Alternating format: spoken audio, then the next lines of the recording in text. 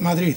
La verdad es que eh, quizá el colegio de Madrid de, Ingenieros Industriales siempre ha tenido un espíritu más generalista y más eh, nacional que lo que es eh, puramente Madrid, pero la verdad es que tenemos que acostumbrarnos a, estudiar y a querer aquello que, que, tenemos más próximo.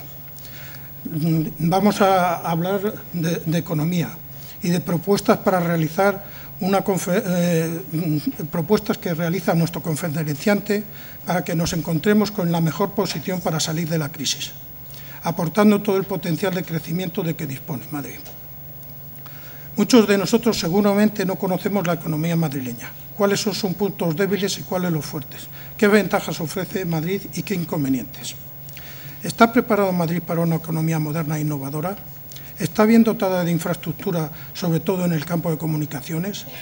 ¿El mercado de trabajo se ajusta a las ofertas? En fin, ¿cómo está la industria madrileña? ¿Qué suelo es el que ofrece? ¿Y con qué servicios cuenta? En fin, para ello tenemos un conferenciante distinguido y gran conocedor de la materia, que es Antonio Miguel Carmona.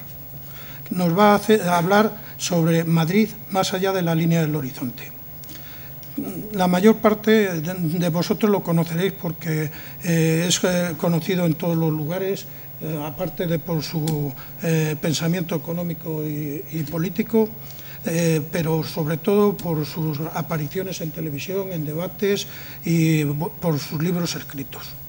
Es doctor en Ciencias Económicas, con especialidad en Crecimiento Económico y Desarrollo Regional ha trabajado en la Universidad Complutense de Madrid y en la Universidad San Pablo CEU. También ha, dado cursos en la Universidad de Berkeley y en la Universidad de Santo Tomé de, Mozambique. Escribió su primera obra económica en, 1992, denominada Economía e Innovación. En ella eh, eh, defiende una nueva economía basada en la innovación tecnológica, la educación y la distribución de la renta, que son tres pilares básicos de, ella y que eh, conforman no solo un nuevo espíritu económico, sino también un aspecto político de, su pensamiento. Otro punto destacado de su trayectoria es, sus ideas políticas. Es, defensor de, de, las ideas socialdemócratas y seguidor de Bestein, igual que de Fernando de los Ríos, sostiene que la libertad es el principal objetivo de la socialdemocracia. Aboga por la desprofesionalización de la política y por la participación de los ciudadanos en la misma. Es presidente de la Fundación Socialdemócrata y dirigente del Partido Socialista Obrero Español. Ha colaborado también con el Partido Demócrata de Estados Unidos, ha ocupado diversos cargos orgánicos. Desde 1990 ha sido miembro del Comité Regional del Partido Socialista Madrileño, PSOE, y miembro de la dirección del Grupo Parlamentario Socialista. Diputado regional de la Asamblea de Madrid y miembro de sucesivas ejecutivas del Partido Socialista de Madrid, donde ha desempeñado el cargo de secretario de Economía eh, y, ha, pertenecido al mismo tiempo a diversos equipos de la Ejecutiva Federal del PSOE. En Estados Unidos Participó en la campaña de Bill Clinton y en la de Barack Obama, desde las primarias presidenciales del Partido Demócrata de 2008 hasta su triunfo en noviembre de ese año. En la actualidad es secretario de Economía, Comercio y Turismo del Partido Socialista de Madrid. Otra de sus muchas facetas es eh, la de viajero, piloto y escritor. Eh, ha realizado vuelos singulares, entre los que destaca la ruta de Ruy González de Clavijo, desde muy temprana edad escribía en medios de comunicación. Con tan solo 16 años visitó unos, unos activistas nacionalistas irlandeses en el Ulster. Tras el bombardeo norteamericano de, de, Trípoli a mediados de los 80, entrevistó en medio del desierto al coronel Muhammad al-Gaddafi. Se ha entrevistado también con miembros del Frente Polisario, eh, mm, entre, entre otras entrevistas y es miembro de la Asociación Española Africanista y de la Sociedad Geográfica. Ha sido galardonado con el Premio Internacional Carlos V de la Sociedad Heráldica Española por su obra Alfonso Valdés, un erasmista en la corte del emperador Carlos. Yo creo que él también es algo erasmista. Participa, es muy conocido por su participación en el programa de debates políticos en 59 segundos, en el programa de Ana Rosa, eh, en Madrid Opina, en El gato al agua y al rojo vivo.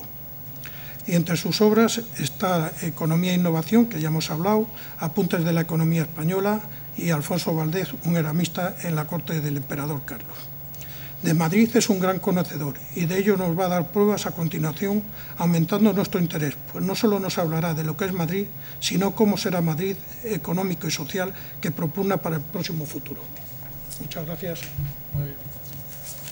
Muchas gracias. Yo no sabía que era todas esas cosas. Es decir, me ha faltado lo más importante. Soy socio 6523 del Club Atlético de Madrid, que es para mí quizá lo más, lo más relevante. Por lo menos era el sueño de mi vida y, lo importante es lo que es importante para los niños. Entonces, yo, yo lo que quería era ser José Eulogio Gárate, pero, pero las piernas no me dejaron. En cualquier caso, les voy a hablar de Madrid. ¿Podía haberles hablado de otra cosa? Yo pregunté a lo mejor la crisis, aunque todo está absolutamente relacionado, ¿no? Eh, decía que una de, una de, mis experiencias, quizá, no sé si políticas o económicas, fue eh, precisamente una de las universidades que había citado él, la Universidad de California Norte, que es la Universidad de Berkeley. Siempre el rector de la Universidad Complutense se enfada cuando digo esto, pero eh, que tiene ahora mismo ya 21 premios Nobel, 21 más que la Universidad Complutense, eh, y que nos tiene que servir de acicate para que los demás también podamos hacer eso, ese tipo de investigaciones y podamos tener premios Nobel también en las universidades españolas, que seguro que lo tenemos, siempre y cuando un Consejo de Gobierno las financie. Cuando yo llego para allá, lo primero que me encuentro, la primera vez que yo viajé a los Estados Unidos, a San Francisco, me han dicho que hable 40 minutos, ¿no? Más o menos, o 45. Y luego entramos en un debate y un coloquio. Cuando yo llego a Estados Unidos, fue la primera vez que fui, eh, hice escala Madrid-Fort Worth en el aeropuerto de Dallas, Texas, que tiene forma de herradura, curioso, la horterada, y de ahí me fui hasta, eh, hasta San Francisco. Cuando llegué a San Francisco llegué un, esto no hay que escribirlo, ¿eh? es decir, llegué un domingo, con lo cual la universidad estaba cerrada, me pasé por la calle y me encontré en una de las manzanas eh, me encontré a gente gritando los unos a los otros. Yo soy demócrata, no, yo soy republicano. Uno se subió a una especie de tiesto, empezó a gritar, unos hablaban de teología incluso. Y yo pensé, esta es la América desinhibida, ¿no? lo que en, inglés americano sería de Free Will America, la América completamente desinhibida. Bueno, esto a mí me gusta, yo venía de Juventudes Socialistas, que ya éramos raritos, entonces eh, me, me, gustaba, ¿no? Cuando el lunes siguiente fui a la universidad, estuve con Dave Movery, que luego fue muy amigo mío, y Sapiro, que luego se lo llevó Clinton a Washington cuando ganó las elecciones en 1992, eh, y Laura Andrea Tyson. Eh, y le dije, oye, me ha encantado, ¿no? Esto me, parece fantástico, ¿no? Y dice, ¿pero en qué sitio estuviste? Y dice, pues en la manzana 1412 o 1420.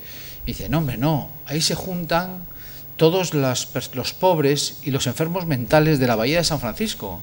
Eh, cuando Ronald Reagan fue gobernador del Estado de California, porque antes de ser presidente de los Estados Unidos fue gobernador del Estado de California, con esta idea de que el hombre o la mujer por sí misma puede levantarse, puede tirar hacia adelante, pues cerró las casas de homeless, las casas de pobres, eh, y cerró incluso los hospitales psiquiátricos con la idea de que una mano invisible siempre les iba a animar a despertarse a sí mismos. ¿no? Es verdad que Reagan cuando tomó esa decisión, probablemente bien intencionada, no tenía en cuenta que había personas con condiciones sociales adversas y condiciones personales adversas que no pueden levantarse, no pueden desarrollarse. Con lo cual me acerqué mucho más a las tesis de, de otro economista que se llama Nash, un economista del Este, que fue también premio Nobel, sobre la cooperación antes, sobre la enorme competencia que defendían algunos economistas, no solo Smith, eh, en 1776, y entendí que la economía también tenía que tener un punto de solidaridad, que no podíamos, que teníamos que desarrollar políticas de igualdad que pudiera haber gente que con condiciones sociales adversas o condiciones personales adversas no se juntaran en Market Street a, mirarse a sí mismos el ombligo y a no poder salir del hoyo, para entendernos. ¿no? Por eso a lo mejor yo era un economista socialdemócrata, si es que cabe esa expresión. ¿no? Eh, lo cual no tiene nada que ver con ser economista keynesiano, que es otra cosa bien distinta. ¿no? Luego en otro viaje, yo les voy a contar viajes, para ocupar los 40 minutos y luego entro en, temas, yo creo que más, más rigurosos aún sobre la economía de Madrid. En otro viaje, eh, bueno, no, no, fue un viaje, en realidad, eh, en una especie, esto tampoco se podría publicar, una especie de tribunal de la ONU, examinamos a las personas que deberían, que deberían eh, ser economistas de la ONU en países, digamos, del tercer mundo. ¿no? Y éramos tres en, el tribunal, un catedrático de economía, que no voy a decirles el nombre, aunque es muy conocido, eh, yo, bueno, un segundo profesor y un tercer profesor que era yo. ¿no? Entonces, las condiciones para ser economista de la ONU eran que tenían que eh, saber economía, y tengo aquí delante algunos catedráticos magníficos y profesores míos y compañeros míos, como el doctor Villacís, dos, eh, que tenían que tener algo, haber hecho en su vida algún proyecto solidario, ¿no? Es decir, ser economista para ir a un país del tercer mundo en nombre de la ONU, pues haber hecho algo solidario. Con lo cual el presidente del tribunal les hacía preguntas de economía, ¿no? Tipos de inflación, ¿eh? Tasa, Nairu, tasa de paro, no sé qué. Y yo les hacía preguntas sobre solidaridad, un poco más romántica, ¿no? ¿Y usted dónde ha estado? Pues yo he estado en Nigeria. ¿Cómo se dice en nigeriano gracias? Y me decían, pues no lo sé. Pues una de dos, o usted no ha estado en Nigeria o usted es un maleducado, ¿no? Eh, yo recuerdo que me di con uno que al final le aprobamos, que había estado en el norte de Sudáfrica, y yo había, acababa de ir al norte de Sudáfrica porque había estado dando clase en la Universidad de Santo Tomé, en, Mozambique, en la antigua Lorenzo Márquez, Maputo actual. Eh, y, había estado en el, el, norte donde estaban los zulúes peleándose con los suanas, de ahí el nombre de Botswana, y, sabía cuatro palabras, ¿no? Dice, ¿cómo se dice en los tulúes en el norte de Sudáfrica? Gracias, no lo sabía. Y se lo tuve que decir yo. Se dice en Guillabonga, por cierto, lo digo porque en mis conferencias aprendí idiomas también. en Guillabonga. Y el tío se me quedó así, y al final este fue el que aprobamos, ¿no? Y él si se acordaba a grosso modo, ¿no? Es decir, con, esto quiero decir que yo, que a veces los economistas nos fijamos solamente en los criterios de crecimiento económico y no en la distribución de la renta. Entonces ahí podemos, eh, con respeto a mis eh, amigos, profesores y catedráticos de economía aquí presentes que han venido conmigo eh, y por lo tanto los traigo para que me aplaudan, no para que me critiquen. Eh, y además trabajamos juntos. Mm, algunos economistas tendemos más a buscar una distribución de la renta desarrollando políticas de igualdad que sirvan además como factor de crecimiento. Esto es lo vital. Esto es lo, lo, sustancial. Es decir, las políticas de igualdad, una mejor salud, una mejor educación, eh, una mejor formación, unas mejores políticas sociales, sirven a veces en gran parte como factores de crecimiento económico. Premios Nobel de Economía hay para aburrir en, relación a esto, sobre todo los penúltimos y los antepenúltimos. En ese sentido nos tenemos que preguntar, vivimos en una conurbación urbana como Madrid, que es una conurbación urbana muy relevante y que, y les voy a ser sincero, voy a intentar no hacer política electoral en este, en este discurso porque estoy en el Colegio Oficial de Ingenieros Industriales y yo vengo ahora mismo de la universidad de dar clase, con lo cual mm, me voy a escurrir de vez en cuando en criticar, no sé si a la, a la presidenta saliente de la Comunidad de Madrid, Esperanza Aguirre, pero, pero no, voy a intentar no hacerlo. ¿no? Eh, ¿Por qué? Porque es tarea de todos pensar que Madrid tiene una responsabilidad económica en el Estado, en España, como lo tiene Ile-de-France, eh, París, como lo tiene Milán en Italia o Roma, como lo tiene Berlín, como lo tiene eh, Inner London o Londres. ¿Y por qué tiene esa responsabilidad? Porque somos grandes conurbaciones urbanas. Y en las conurbaciones urbanas es donde nacen las innovaciones tecnológicas que son el principal factor de crecimiento económico desde que Schumpeter escribió sobre ello, Kondratiev escribió sobre ello y otros autores como Keynes escribieron sobre ello. Madrid, por lo tanto, es un factor de polarización de los factores de producción. Los economistas llamamos factores de producción a la tierra, al trabajo, al capital y al residual. Es decir, atraemos trabajadores, como es natural, Estoy diciendo cosas que todos tenemos en la cabeza por sentido común. Polarizamos y distribuimos, a su vez, eh, esa polarización. Atraemos capital, no solamente dinero, sino también bienes de equipo, atraemos población, por eso tenemos 6 millones y medio de habitantes, y luego lo distribuimos en nuestro hinterland, en el territorio. Desde luego las grandes innovaciones tecnológicas, lo que llamamos economías de urbanización, se producen aquí. Esto ya lo he contado. Se producen aquí. Madrid tiene ventajas locacionales. Es decir, tiene una localización, o localizacionales para ser más exactos, porque está orientado al mercado y genera economías de aglomeración. Es decir, las economías de aglomeración son aquellas que mejoran la productividad. ¿Por qué se instala una, fábrica de discos en Madrid? Pues se, instala en Madrid porque suministra a un mercado de 6 millones y medio de habitantes. Ese es el motivo, no porque aquí haya materias primas suficientes, salvo alguna, por ejemplo, el factor trabajo. Las ocho, ocho universidades públicas, otras tantas privadas, centros de investigación, etcétera, etcétera. Eso son economías de aglomeración. Por lo tanto, Madrid es el factor de crecimiento nacional siempre. Y es uno de los principales factores, junto con Barcelona, Bilbao y algún otro, pero sobre todo las grandes conurbaciones urbanas. Es verdad que en el caso español fue la periferia la que desarrolló, especialmente en el siglo XIX, la industrialización española. Industrialización española que se sustentó en el siglo XIX, después de grandes errores, especialmente por parte de la corona, con la desamortización, con el desarrollo industrial en Cataluña, con el desarrollo industrial en el País Vasco, fundamentalmente, y con la inversión extranjera. salvo algunos castellanos que hicieron algunas realizaciones industriales, estoy en el Colegio de Ingenieros Industriales, a los que podemos dar nombre y apellidos. El Marqués de Salamanca, que ayudó a construir el ferrocarril en España y el último metro lo puso de plata. Yo al profesor Ramón Tamames le hice un cálculo de con ese metro de plata cuántos kilómetros de línea férrea se podía haber hecho, pero probablemente se lo dedicó a uno de sus amores, reina de España. Eh, el Marqués de Sargadelos, que fue el primero en poner un alto horno en España, en Sargadelos, entonces Asturias, ahora Galicia, si no recuerdo mal, es que está en la frontera, o Manuel Heredia, el segundo alto horno que se puso en España, que fue en Marbella, o la proyección internacional del vino de Jerez, por eso casi todos los nombres, por la entrada de capital extranjero, tienen nombres británicos, Osborne, Bayas, etc. Bueno, el caso es que, eh, salvo estos casos de industrialización periférica en España, Madrid sigue siendo el motor económico de, nuestra, de nuestro país. Madrid, también Barcelona, por supuesto, Bilbao, etcétera, etcétera. ¿Por qué? Porque tenemos ventajas localizacionales orientadas al mercado, que es lo que llamamos economías de urbanización. La polarización de los recursos que se centran en Madrid generan un crecimiento en nuestras economías de urbanización y una difusión en nuestro hinterland. Esto es Madrid. ¿Y por qué le doy esta importancia? Algo que podía ser, podría ser mucho más divertido hablarles de la crisis de Lehman Brothers o hablarles de cómo está cayendo la bolsa de Wall Street en estos momentos. Pero esto es también muy importante. ¿Por qué? Porque Madrid es la, vigésimo segunda región de Europa en renta per cápita. Depende el, dato de Eurostat, el último creo que es la vigésimo segunda. Madrid no debería ser la vigésimo segunda, debería estar entre las diez primeras. ¿Y qué error cometemos los economistas regionales, los economistas de crecimiento o los políticos madrileños? políticos sindicalistas o patronal, que nos comparamos con la media nacional. Y es como si París se compara con la media francesa, o como si Londres se compara con un pueblo de Escocia, o si Milán se compara con un pueblo del Mesogiorno italiano. Es ridículo. Y que no se me ofenda a nadie, no quiero poner ningún ejemplo porque siempre digo, Madrid no se puede comparar con Zamora, y siempre levanta alguien el dedo que de Zamora. Es decir, eh, Madrid no se puede comparar con provincias menos desarrolladas que no han tenido un crecimiento endógeno. Han tenido otras cosas mucho mejores, probablemente, pero no un crecimiento endógeno industrial. Madrid tiene que compararse con las grandes conurbaciones urbanas. Y esto se lo he dicho a tres tipos de personas, a cuatro tipos de personas. A estos que ven ahí en este recuadro. La idea de la economía madrileña se sustenta en un estado de opinión, defendido por legisladores, entre los que me encuentro, sindicatos, patronal y organizaciones políticas. Casi todos sonrientes. Sonrientes porque nos comparamos con Zamora.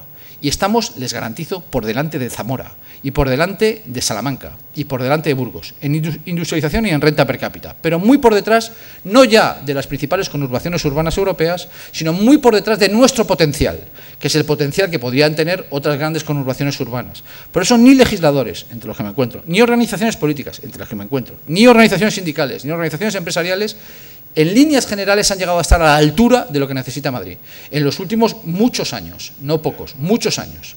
Y digo que no están a la altura porque si, no nos, si nos comparamos solamente con la media nacional, de hecho, desde el punto de vista político, podemos sentirnos satisfechos. Desde el punto de vista del legislador, podemos estar cometiendo un error. Desde el punto de vista técnico y universitario, estamos haciendo el ridículo. El ridículo espantoso. Yo no me puedo comparar con Córdoba que tiene otro proceso de industrialización endógeno distinto, me tengo que comparar con las principales conurbaciones urbanas europeas. ¿La Comunidad de Madrid es motor de crecimiento nacional? Sí, encima tenemos una responsabilidad. Aquí se ve regular, como Madrid en las épocas de expansión es la que tira hacia la expansión y en las épocas de depresión, fíjense la crisis del la crisis que es del 73 en el mundo, del 74-75 en España y de finales de los 70 y principios de los 80, Madrid, que es la línea roja, es la que más cae, la que tira de la economía nacional hacia abajo y la que tira hacia arriba. Es natural, esto tiene un sentido común aplastante. Aquí hay 6 millones y medio de habitantes, entonces 5. Y si los 5 dejan de demandar, tira de la economía nacional hacia abajo, ¿de acuerdo? y viceversa tanto en consumo y especialmente en inversión. Madrid concentra las pautas de inversión, igual que Cataluña, pero en mayor medida Madrid, las pautas de inversión de nuestra, de nuestra nación. ¿Qué quiero decir con esto? Que además de ser la 22, además de cometer el error político de compararnos con la media nacional, que es ridículo, eh, además de cometer ese error, encima tenemos la responsabilidad de ser el motor económico de España, y lo somos. Y si lo dejamos de ser, España deja de crecer como lo es, repito, no es porque en Madrid seamos machelis, como lo es París en Francia, Berlín en Alemania o Milán en el norte de Italia. Eh, a partir de aquí, ¿en qué hemos crecido en los últimos años? La serie es muy larga, del 80 al 2004. Quien más ha crecido ha sido la construcción, que ha crecido un 74%. El sector servicios un 62%, la industria un 56%, la energía un 35% y la agricultura ha disminuido un 32%. Atención, Cuando se dice que Madrid es una región terciarizada, se está diciendo una cosa que no es del todo cierta. Es una región terciarizada en sí misma, pero gran parte del sector servicios español, madrileño, perdón, se sustenta en la industria. Se sustenta, por supuesto, en la administración pública, se sustenta, por supuesto, en servicios de ocio, se sustenta, por supuesto, en servicios públicos, como los hospitales y los colegios, pero se sustenta también en servicios avanzados. Y esto no se tiene en cuenta. El crecimiento industrial de la Comunidad de Madrid ha generado un sector servicios avanzado. Por lo tanto, no podemos decir que Madrid descienda, como vamos a decir probablemente en las campañas electorales, descienda su peso industrial, sino de que cada cinco puestos industriales de trabajo que se generan, se genera uno o uno y medio puestos de trabajo en el sector servicios avanzado en la Comunidad de Madrid.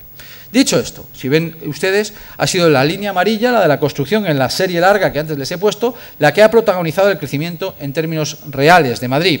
El sector servicios, también servicios avanzados, y en menor medida la industria y la agricultura, evidentemente no voy a tener en cuenta por su escaso peso en la Comunidad de Madrid. Eh, ¿Qué estamos perdiendo? Pues estamos perdiendo un dato que es muy relevante, que quiero adelantarles.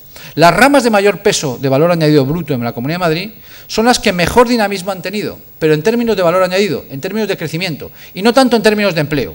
¿Esto para un economista qué significa? Significa que las ramas de mayor peso en la Comunidad de Madrid son las de mayor productividad. Si crecemos en valor añadido y no crecemos tanto en empleo, es que estamos modernizando nuestra industria. Y esto es lo que le ha ocurrido a Madrid. ¿Tenemos potencial? Sí, siempre y cuando no nos mintamos. Y voy a desvelar unas cuantas mentiras. Y digo mentiras, aunque es un término que a mí no me gusta utilizar porque es bastante irrespetuoso, pero una mentira es una mentira. En este caso, eh, vamos a acabar con las mentiras, digo para partir de la realidad. Y aquí tenemos que estar todos. Esto lo he hablado para que vean que no somos tan sectarios con el ex consejero de Economía del Partido Popular, mi querido amigo Luis Blázquez, y él mismo me ha, confesado que si partiéramos de la realidad, entonces podríamos marcarnos unos objetivos en la línea del horizonte que tiene que marcar Madrid como líder de la economía nacional para poder tirar de la economía nacional.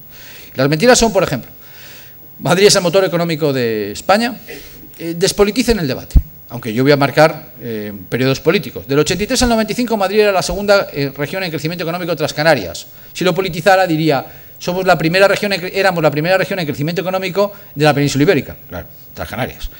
Eh, del periodo 95-2003 éramos la tercera. Desde luego lo primero no era por Joaquín Leguina y lo segundo por Alberto Ruiz Gallardón, sería ridículo, es por el propio comportamiento de la Comunidad de Madrid. Desde el 2003 al 2009, pues, quito el 2010, desde el 2003 al 2009 hemos sido de media la sexta. Es verdad que cuando el dato nos da la novena, la oposición a la que yo represento doy una rueda de prensa y digo, somos los novenos. Y cuando sale la primera, creo que ha sido el último año, sale eh, Esperanza y dice, somos los primeros. Pero la media del periodo de 2003 al 2009 hemos sido los sextos. Es decir, Madrid ha perdido su capacidad de locomotora nacional. Y esto no es malo para Madrid, es malo para España. Porque las locomotoras de crecimiento son las economías urbanas por sus ventajas locacionales, como París, como Milán, como Londres o como Madrid.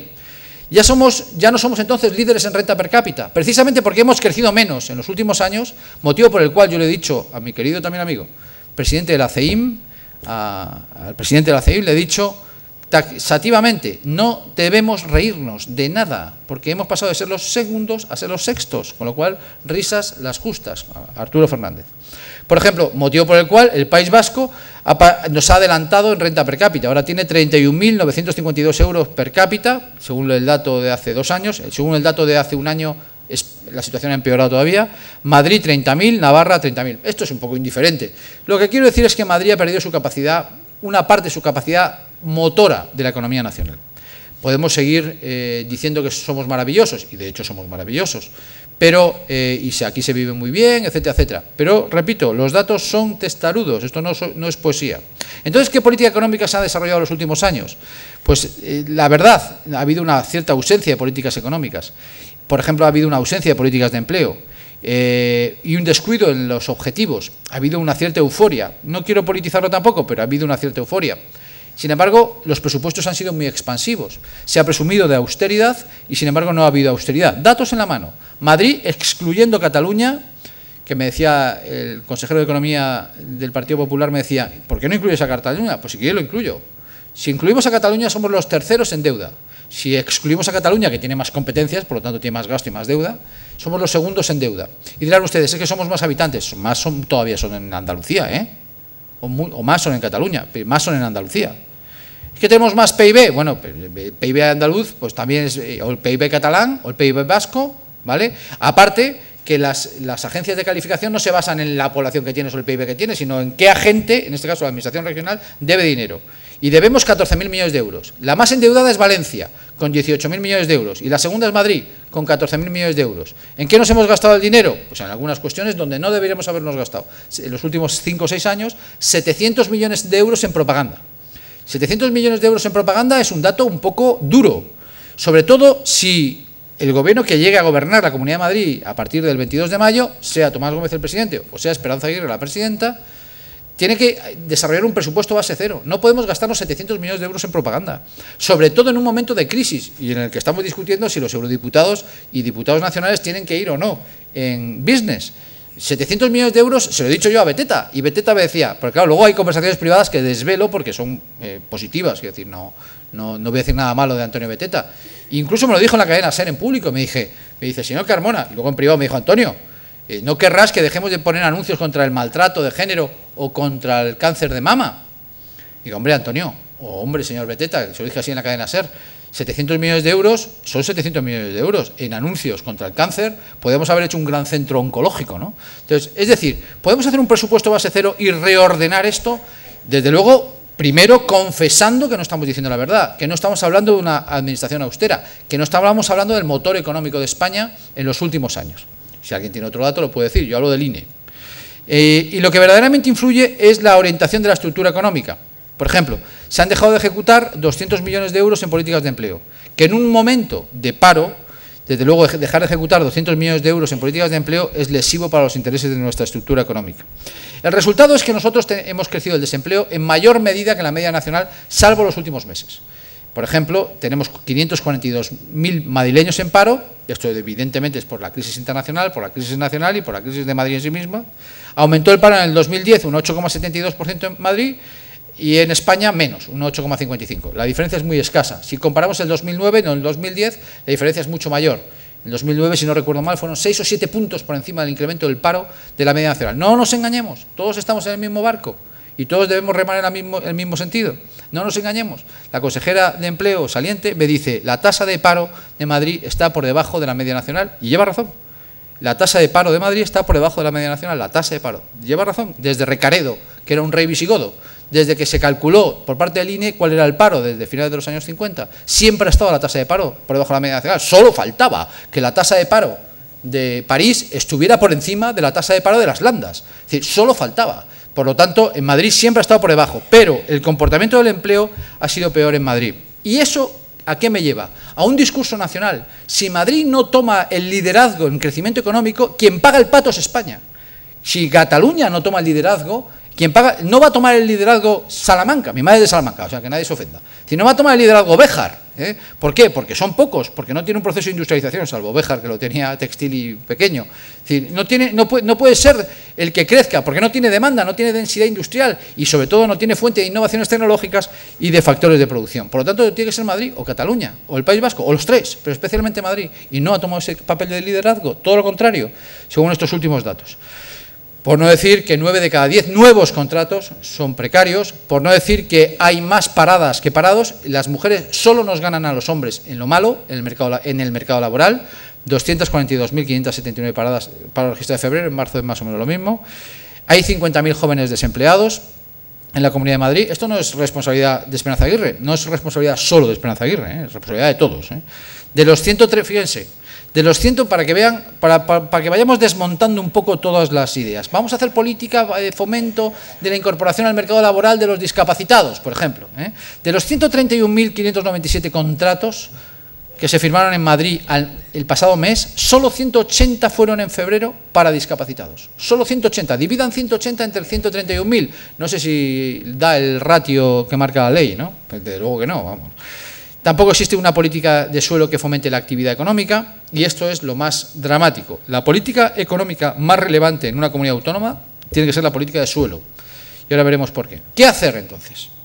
Voy a ser relativamente breve para que haya muchas preguntas. ¿Os parece? ¿Vale?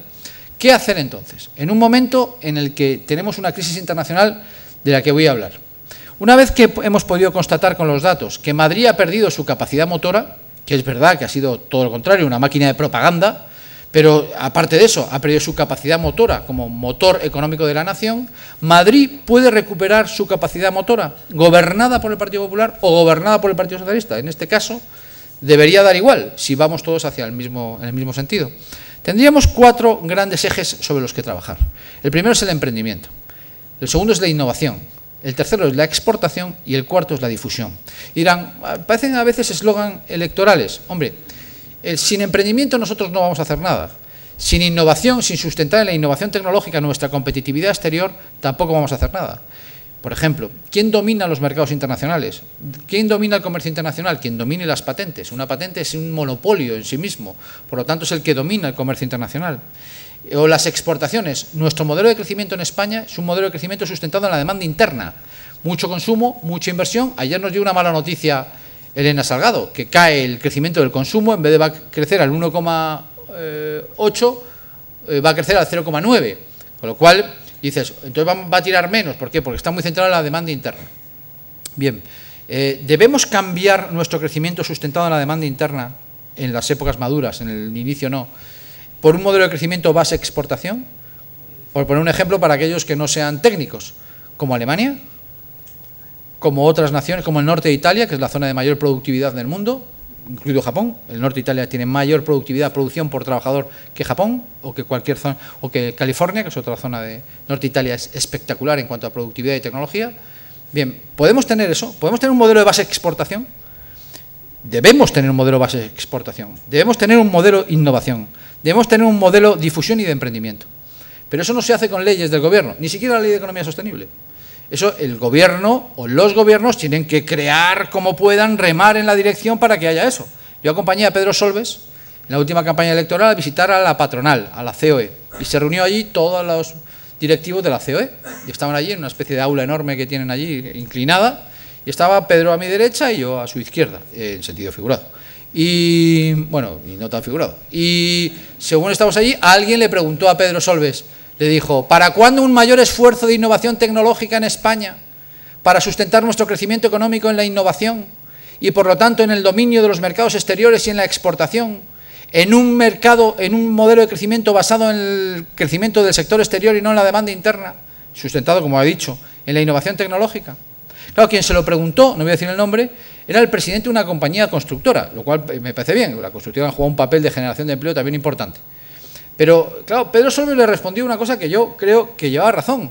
Dijo, en primer lugar, el presupuesto general del Estado, como estábamos en campaña electoral, lo tuvo que decir, el presupuesto general del Estado de este año, hablo del 2008, cuando hicimos, fuimos allí a la COE, eh, eh, ha gastado en investigación y desarrollo el doble que el último presupuesto de José María Aznar. Es decir, si el presupuesto de José María Aznar había gastado dos, nosotros gastamos cuatro, que es algo así como casi nada. Y dos, quien tiene que gastar en innovación tecnológica y arriesgarse son ustedes, los empresarios. Como algunos empresarios que no están para fiestas, evidentemente, pues si quieren con apoyo público, como ha ocurrido en otras naciones, mm, tampoco sospechosas de ser de la tercera internacional socialista, ¿eh? bolchevique, como por ejemplo Alemania, con bancos públicos que han financiado la innovación tecnológica, o Japón, con el Ministerio de Comercio, Ministry of International Trade and eh, International Trade, Ministerio de Comercio Internacional e Industria, el MITI famoso, con subvención pública, apoyando a las grandes compañías y a las pequeñas compañías, a las compañías exportadoras y a las compañías innovadoras. A ver por qué no vamos a financiar, por ejemplo, a un chaval que acaba ingeniería industrial, por ejemplo, por ser demagogo, ya que este ejemplo aquí es un poco demagogo, acaba ingeniería industrial, les prometo que siempre pongo este ejemplo, ¿eh? acaba ingeniería industrial, hace una tesis doctoral, de la tesis doctoral su fruto es una patente, una patente que puede vender en el exterior, y va a un banco para pedir un préstamo para montar esa empresa. Los bancos, como todo el mundo sabe, son aquellos sitios que te prestan un paraguas cuando hace sol y te lo quitan cuando llueve. Y así se lo dije yo a mi ex profesor Miguel Martín, actual presidente de la Asociación Española de Banca. O te dan un préstamo, también se lo dije así, siempre y cuando demuestres, a veces notarialmente, que no lo necesitas. Con lo cual, eh, ¿le daríamos un préstamo a este chaval para montar una industria, a este ingeniero industrial recién doctorado, para poder vender esa patente?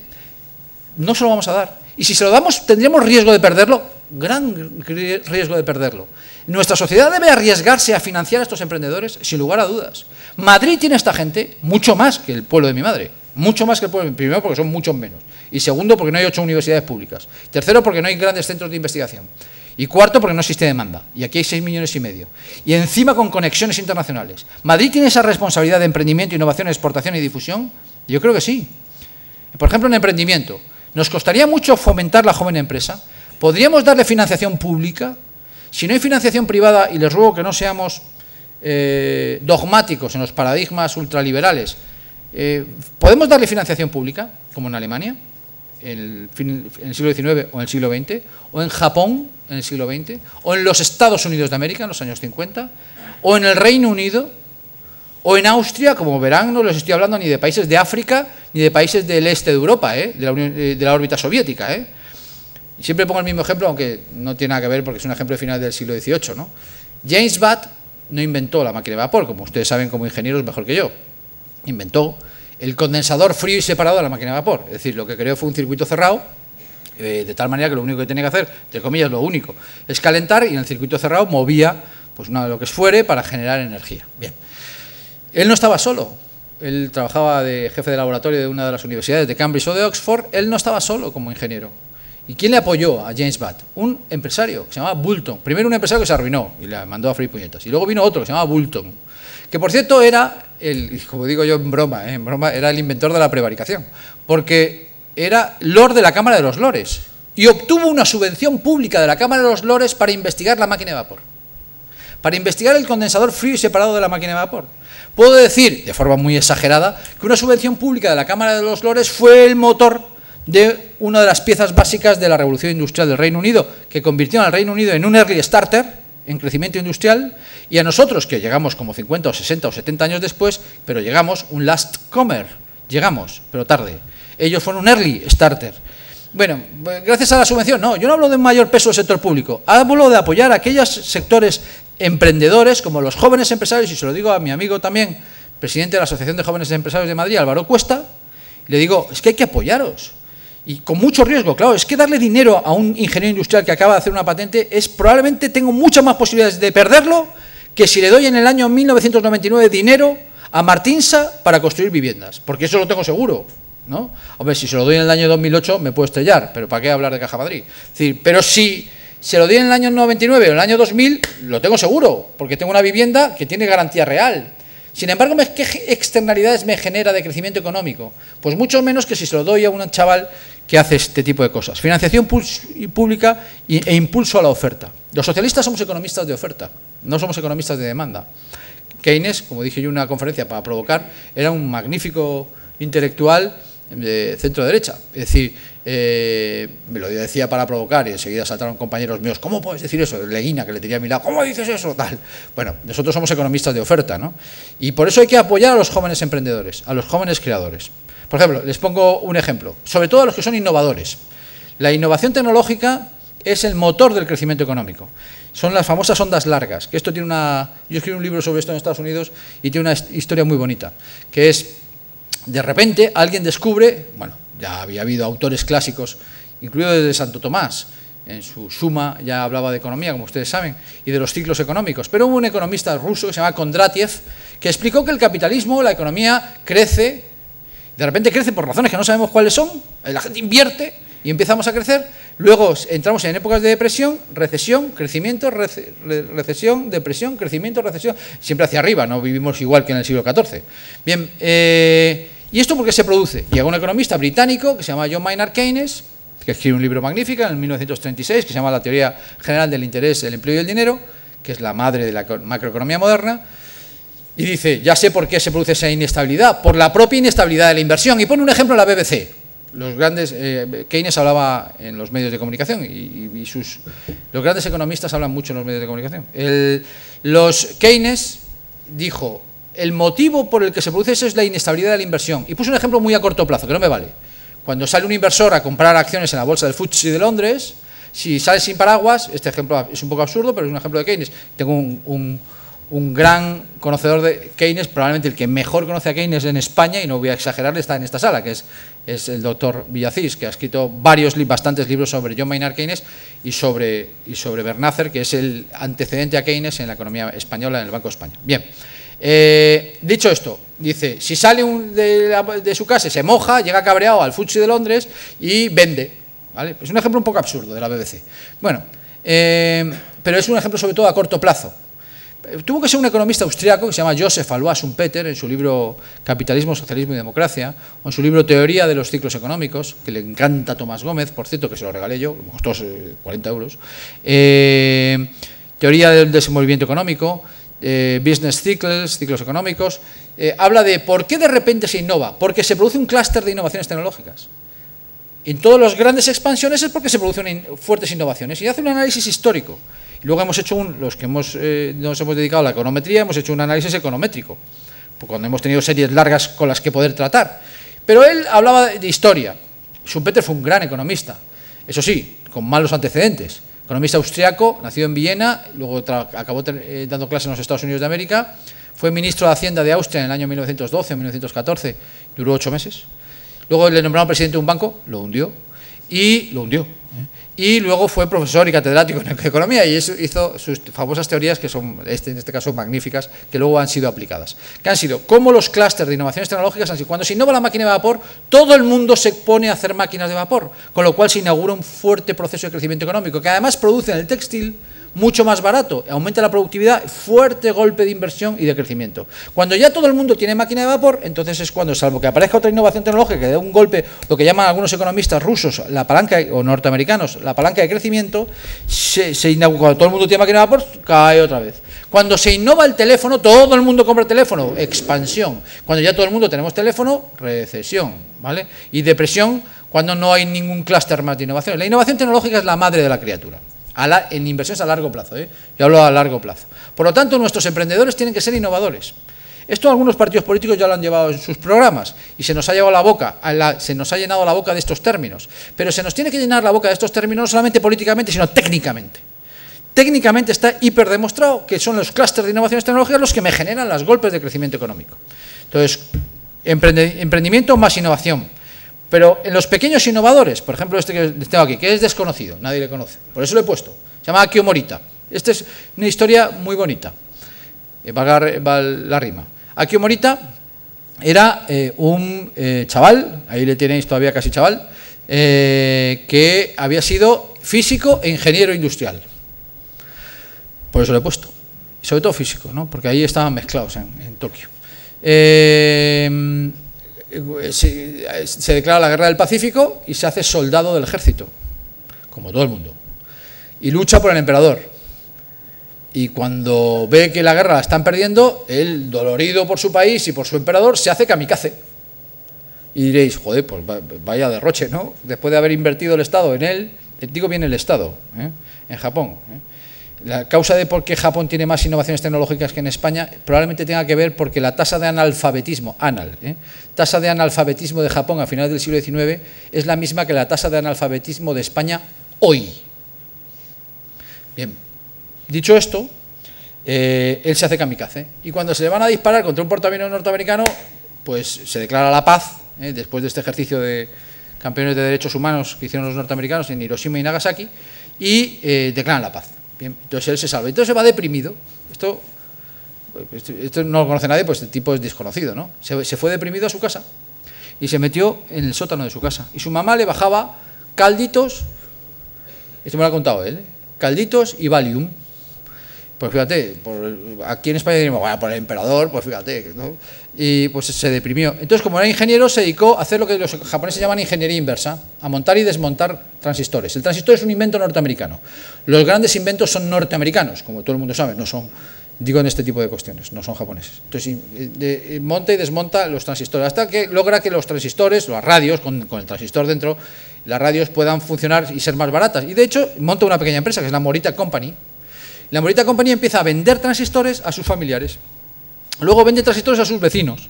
Y luego acabó vendiendo transistores en Japón y la compañía Morita Company es una pyme, más bien casi mediana empresa, que vendía transistores a Japón y algunos exportaba a Estados Unidos de América. Este es un ejemplo. Como Morita, como Akio Morita, que ya ha muerto, personaje industrial, ingeniero, desconocido, hay miles en, los, en Japón, miles en Japón.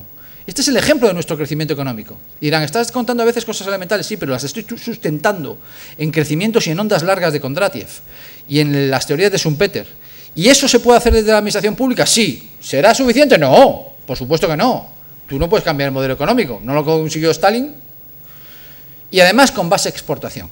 ¿Qué es un modelo base exportación? Los ciclos económicos españoles son siempre los mismos. Lamentablemente son siempre los mismos. Quien los explica mucho mejor que yo y tiene bibliografía para aburrir es Miguel Sebastián. He dicho bien Miguel. ¿eh? No, perdón, es Carlos Sebastián. Carlos Sebastián es catedrático, como sabe Pepe, catedrático de eh, Economía, y su hermano también es profesor, que es Miguel Sebastián, lo que pasa es que su hermano es ministro. Eh, Carlos es un gran economista, Miguel también es un buen economista, Carlos es excepcional y ha escrito sobre los ciclos económicos españoles. Esto mismo que hablo yo de los ciclos de Sumpete, pero los españoles. Y nosotros, nuestros ciclos siempre han sido los mismos, que está sucediendo ahora también, que es cuando crece la economía mundial, nosotros, cuando estamos en recesión, crece la economía mundial, nosotros crecemos detrás de la economía mundial que es la frase que Carlos, que es mía, pero que la puso Carlos en un libro que se llama, eh, bueno, no, fue exactamente así, pero bueno, se llama Cuando sube la marea todos los barcos flotan. Y es natural. Es decir, España no va a ser la que tire de la economía mundial. Quien piense que España va a salir sola de la, en la economía mundial, pues, pues es como pensar que Zamora sale sola en la economía española. Entonces, crece Alemania y detrás crecemos nosotros vía exportación.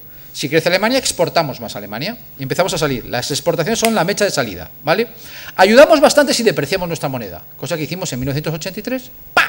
Y ¡bum! salimos vía exportaciones. O hacemos en 1994, 93, 94, y ¡pa! salimos vía exportaciones. Calentamos el motor, ¿vale? Como un coche parado que tira de él la máquina alemana. Como es natural, para empezar son 80 millones o 90 millones de personas, ¿eh? la francesa, la norteamericana, etcétera, etcétera, y nosotros empezamos a exportar.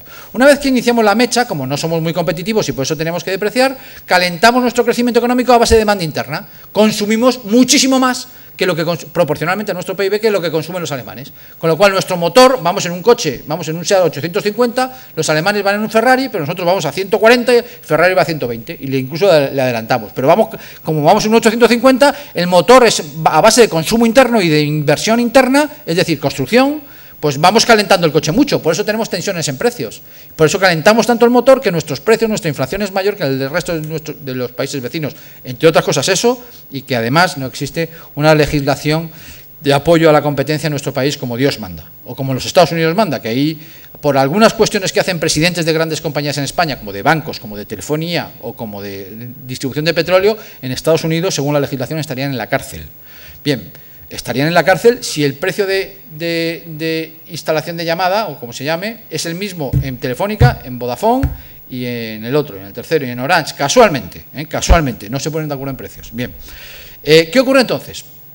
Que abandonamos el modelo de exportación, que nos sirve como mecha, pero alimentamos como demanda interna. Y ahora estamos igual, ahora empezamos a crecer un poquito vía exportaciones. Y dice Elena hace ocho meses, vamos a crecer vía consumo. Por cierto, algunos dijimos, no, verás cómo no. Y es verdad, lo ha tenido que rectificar, no va a ser vía consumo, es vía exportaciones. Y, una vez que encendemos la mesa, ya nos calentaremos con la demanda interna, con dos grandes problemas.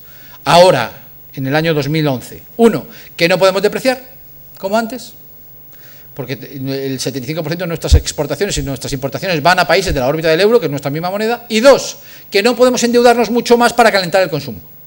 Y antes calentábamos la demanda interna, consumo e inversión con mucho endeudamiento privado. Pero ahora estamos en el top del endeudamiento privado. Pero en cualquier caso estamos saliendo por exportaciones y calentamos luego demanda interna como, podamos, ¿vale? ¿Por qué no cambiamos el modelo y hacemos base exportación? Desde luego, si lo tiene que hacer alguien, tienen que ser las grandes conurbaciones urbanas, con emprendimiento, con innovación y con exportación. Y como me dice algún autor, y esto os ruego que no lo escribáis, pero digo, como me dice que me van a eh, escribir lo que estoy diciendo, porque a lo mejor no tengo autorización de él, como dice Miquel Buesa, que fue profesor Miquel Buesa que ahora es famoso porque es el presidente del Foro de Hermoa, ¿no? Miquel Buesa fue profesor mío de Economía Industrial, en el doctorado. Y como profesor mío, él decía, es que un modelo de crecimiento sustentado en la innovación es el mismo modelo de crecimiento que sustentado en la exportación. Casualmente, de las ramas industriales madrileñas, aquellas que son más dinámicas son aquellas que tienen más complejidad tecnológica, que por cierto son las mismas que tienen más orientación exportadora. Es decir, existe una correlación, correlación del noventa y tantos por ciento entre ramas de complejidad tecnológica y ramas de orientación exportadora. Luego hablar de innovación y hablar de exportación es lo mismo, en términos econométricos, lo mismo. Por lo tanto, emprendimiento, innovación, exportación. Y si no lo enfocamos ahí, nos equivocamos. Nos equivocamos. Si vamos a seguir subvencionando las fábricas de galletas, estaremos muy bien, acabaremos tomando magníficas galletas, pero no exportándolas. Y la difusión, que es el gran problema que tenemos. El gran problema que se puede que se puede solucionar en Madrid. Madrid tiene, atención a los términos, una fortísima macrocefalia en densidad industrial y un doble gradiente ortogonal. ¿Vale? Tú dices esto en el Parlamento Regional y se caen de espaldas hasta lo sugieres. Una macrocefalia significa que existe una enorme densidad industrial en el centro de Madrid que ahora se va difundiendo y son las conurbaciones urbanas de eh, la industria metropolitana. Y luego un doble gradiente ortogonal. La industria de Madrid, ¿dónde se localiza? Se localiza en, en las axiales, ¿vale? ¿Orientada a dónde? Al mercado, no a la planificación, al mercado. Hubo una planificación al final del siglo XIX, que es el plan de Castro, que decía que la industria madrileña se tenía que localizar en el norte de Madrid, porque como era una industria contaminante, mejor que fuera en la Sierra del Guadarrama, que hay muchos vientos y así se eliminan los humos. Menos mal. ¿Pero por qué se localizó en el sur? Porque el mercado se impuso sobre la planificación. ¿Y cómo se impuso? Las minas de, perdón, el ferrocarril del norte, que entraba por el sur, traía de las minas de Valderrueda y de otros lugares los inputs de la industria madrileña y los traía por el sur. Y estableció cinco estaciones en el sur de Madrid para depositar los inputs de, y los consumos intermedios de la industria madrileña, los ácidos, los minerales, el mercurio, de Ciudad, Real, etcétera, etcétera. Y entonces estableció pues, la estación de Delicias, que ahora es una de metro, la, de, la estación de Príncipe Pío, que ahora es una, estación, Atocha también, y todo eso era para depositar los materiales. Por eso la industria se establece en el sur de Madrid, alrededor de las estaciones que establece la compañía de ferrocarriles que traía los inputs y luego se va distribuyendo hacia el sur de Madrid y enlaza con un sitio que ya existía desde el siglo XIX, un crecimiento endógeno industrial que era Getafe, como bien diría mi amigo Pedro Castro. Con lo cual, ¿cómo distribuimos, dónde se localiza la industria? En las axiales, especialmente en la nacional, axiales son las autovías o carreteras, entonces. En la Nacional 4, la Andalucía, la de Toledo, la 401, ¿no? La 5 menos la 3 menos, la 2 de Barcelona, que es el corredor de Henares, mucho más, la 1 muy poco y la 6 muy poco. Pero a través de las axiales. Entonces, si cogemos aquí un periodo, vemos como la localización de los nuevos centros industriales, según el registro de establecimientos industriales, que nos hemos cargado en el Ministerio de Industria, con lo cual no se puede investigar, cogemos el registro de establecimientos industriales, este es el trabajo de unos 20 becarios, perdón, de, profesores, eh, una vez cogemos esto, vemos que los nuevos establecimientos industriales cada vez se sitúan, el eje de eh, ordenadas es la distancia al centro de Madrid, ¿vale? Eh, y el de abscisas son los años. Cada vez la localización del empleo de la inversión industrial o del empleo industrial es más alejado de Madrid, ¿vale? Se les va expulsando. Podemos acabar demostrando que no existe efecto frontera, sino que lo que hay es un efecto derrame neto, expulsión por el precio del suelo industrial de Madrid. ¿Y qué observamos en esa difusión? Pues fijaros, si establecemos binomios regionales, vamos a crear regiones en España. Mi querido también profesor, que conoce Pepe Villacís, Martínez Cortiña, compañero de José Luis San Pedro y padre de la patria en estructura económica y en la disciplina de ciencias económicas, decía, ¿por qué vas a establecer tú, cuando yo era un joven doctorando, eh, regiones industriales políticas en provincia, Madrid, Toledo, Ciudad Real? ¿Por qué no haces macroregiones? Por ejemplo, Madrid-Castilla-La Mancha. Entonces, eh, regiones que, eh, binomios de regiones fronterizas, ¿vale? Entonces, ¿cuáles son las de mayor crecimiento económico en el periodo desde 1980 hasta hoy? La primera, Madrid-Castilla-La Mancha. La segunda, Cataluña-Aragón. La tercera, Cataluña-Valencia y la tercera, Castilla-León-Madrid. ¿Esto qué significa? Probablemente que Castilla-La Mancha crezca mucho gracias a Madrid. Que la industria que se localiza en Guadalajara no es industria de Guadalajara, es industria de Madrid. Porque está en Guadalajara porque existe Madrid. Si establecemos trinomios regionales, os dais cuenta del gran eh, del tema. Los trinomios de mayor crecimiento económico han sido Madrid, Castilla-La Mancha, Extremadura, Madrid, Castilla-La Mancha, Aragón, por el efecto difusión de la industria madrileña. Es decir, la Comunidad de Madrid es una comunidad cuya región se expande industrialmente hacia el sur y hacia el corredor de Henares, como lo veis ahí en las, flechas. Hacia el sur, hacia la Mesa de Ocaña y hacia, y hacia la Sagra, y en el corredor de Henares hacia Guadalajara. La MAU, o sí, la MAU, eh, o el águila. El águila, cuando, cuando la cerramos en Arganzuela y creamos ahí la biblioteca Joaquín Leguina, pues tiende a localizarse en un pueblo de Guadalajara, se ha ido. Y pero no hay suelo suficiente en Madrid para que se localice en Madrid. Primero, yo no soy nacionalista madrileño. Eh, no, hay, no, hay, suelo suficiente, claro que hay suelo en Madrid para que se localice. Entonces, ¿qué ocurre? Que no hay suelo adecuado. Podemos estar hablando de que el crecimiento industrial endógeno de Madrid choca con lo siguiente. Lo primero que genera ese crecimiento industrial endógeno es una difusión sectorial. Es decir, no solamente genera empleo para la industria, sino que genera empleo también para el sector servicios. Empleo avanzado, empleo muy avanzado, ingenieros, por ejemplo, diseñadores, expertos en CAD-CAM, ¿de acuerdo? ¿Por qué? Porque nuestra industria es intensiva en valor añadido y menos intensiva en empleo, con grandes ganancias de, productividad, dando lugar a que somos de enorme complejidad tecnológica con gran orientación exportadora, que tiene un problema, difusión sectorial, autoactivación del sector servicios. Luego no hay una pérdida motora de la industria madrileña. Entonces, ¿qué pasa?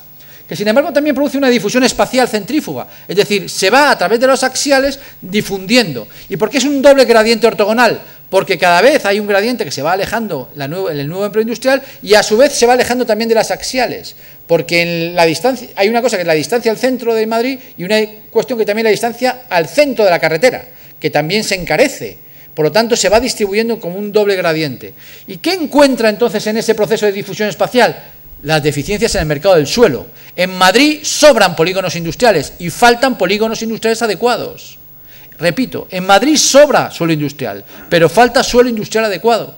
Y la mejor forma de llegar a esta conclusión no es solamente viendo cómo se difunde y cómo acaban en Ocaña o cómo acaban en, Guadalajara, cuando hay suelo industrial en Madrid, sino preguntándoselo a los propios empresarios. Y los propios empresarios, como Clemente, que es uno de los primeros productores europeos de aluminio, u otros grandes industriales de Madrid, me dicen, no, no, si mi problema es que si yo me establezco en, el, en Arganda, yo allí tengo 60 trabajadores y trabajadoras y no tengo un lugar donde tenga un, equipo de ingenieros, no tengo una empresa que me haga el CADCAM, no tengo, tengo que buscar algún sitio adecuado.